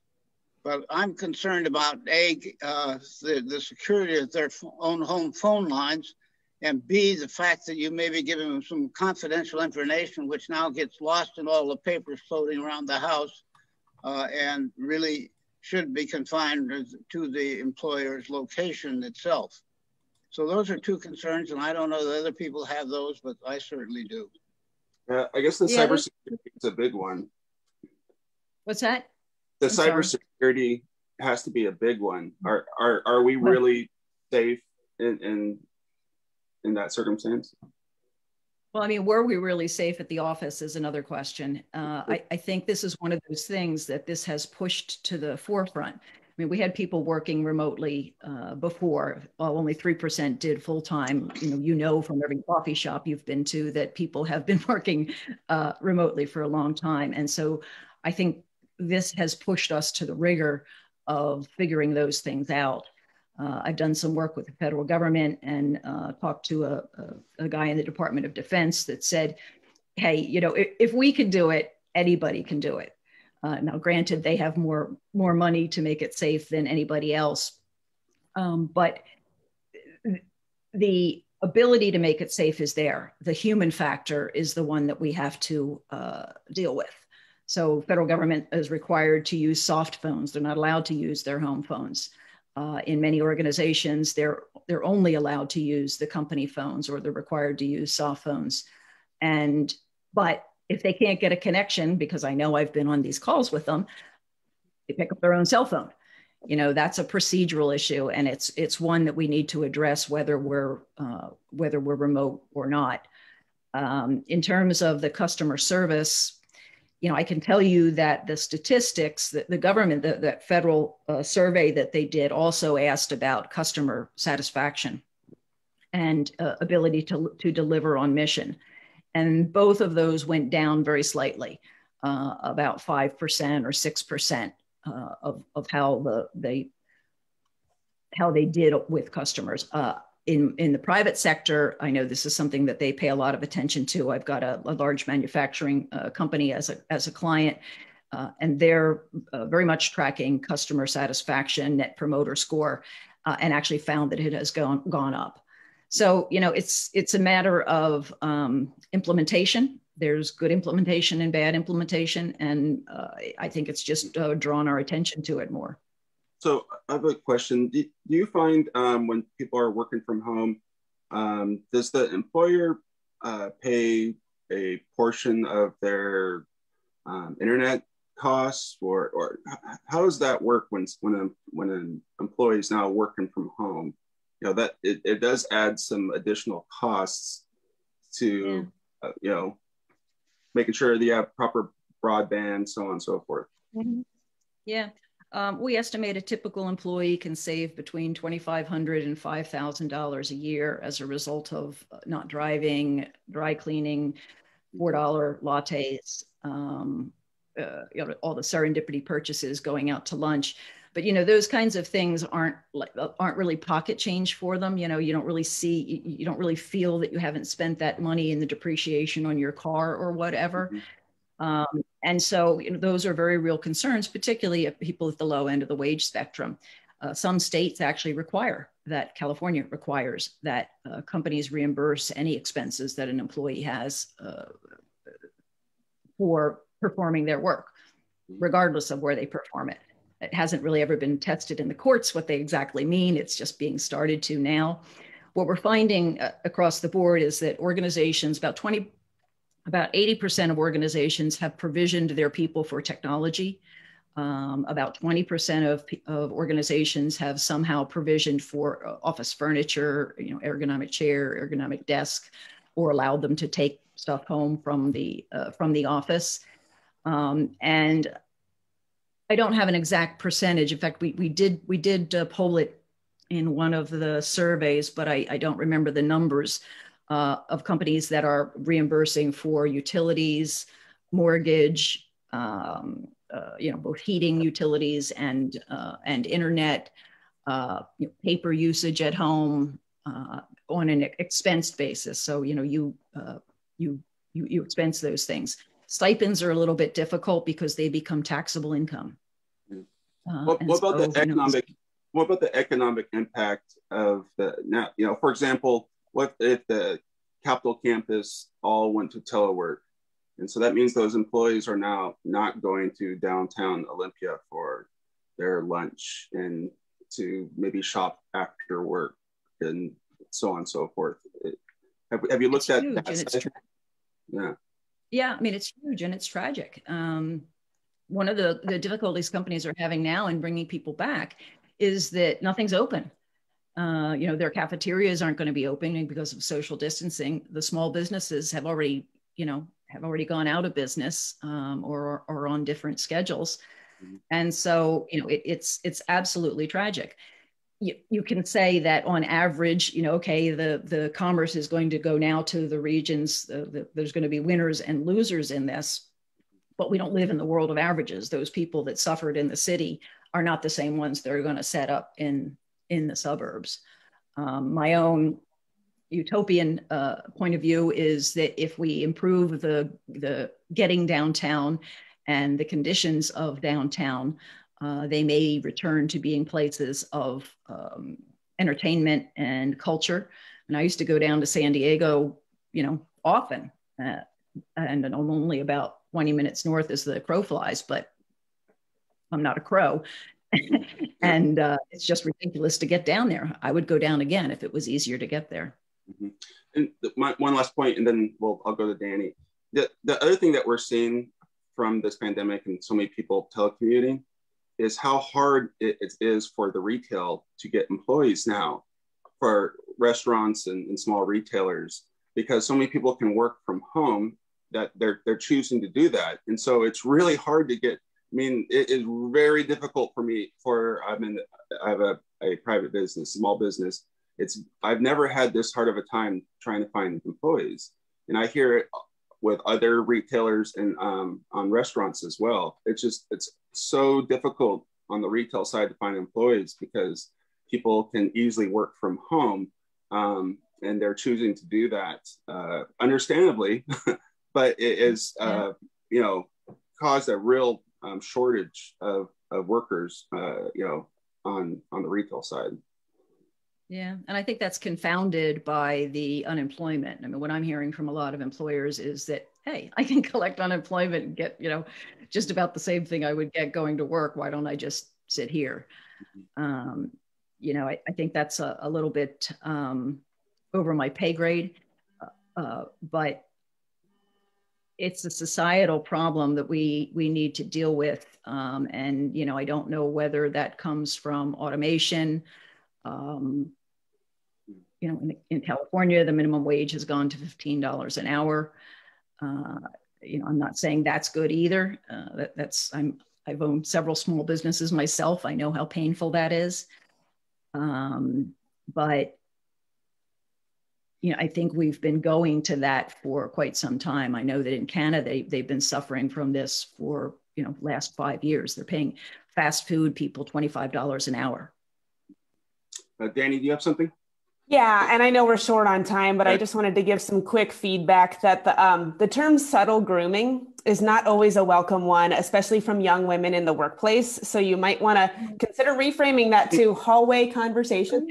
Um, but also, okay. um, I, I I mean that made me think that you know teleworking creates a level of protection from people who do experience harassment in the workplace. Uh, something to also consider, and also in terms of those hallway conversations, I think um, there's a lot of opportunity for bias to creep in uh, when those are happening and moving to more of a teleworking environment might make those uh, the, opportunities that are created through those more performance driven um, especially if that's the intention of the workplace to, to make improvements in that area. So those are just some of the thoughts that uh, came up for me while you were speaking. So thank you for your presentation. Yeah. So, yeah, I mean, leveling the playing field is is uh, significant, particularly in terms of meetings. Uh, the introverts have found it easier to to get their voices heard uh, in the meetings, for example. Uh, but it takes some intentionality. It takes uh, you know uh, leaders have to, to understand how to run those meetings and how to be inclusive. Well, we are over on time. Does anyone have anything else? Thank um, you. Andy, go, Andy go ahead, I would like to. Um, I would just like to say that we will be finishing our Capitol Campus report soon and we'll be bringing that back to you. And there are so many layers uh, to these issues.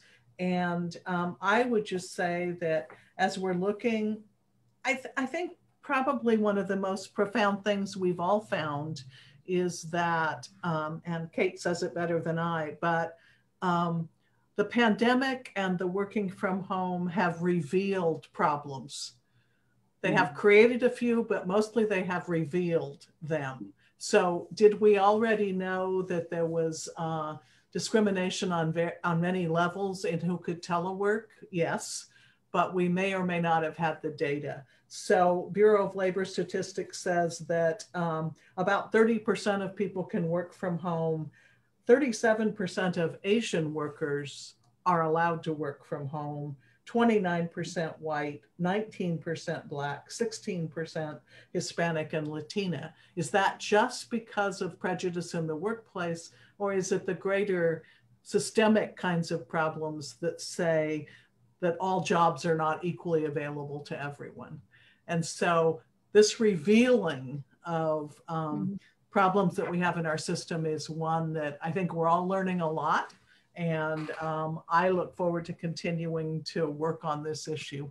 Um, and just so you know, we will be starting phase two of the Capitol Campus project in July. So we'll be finishing the work with the City of Olympia and this grant, and then we will be starting uh, another study. So we're going to continue to look at this and what the impacts are.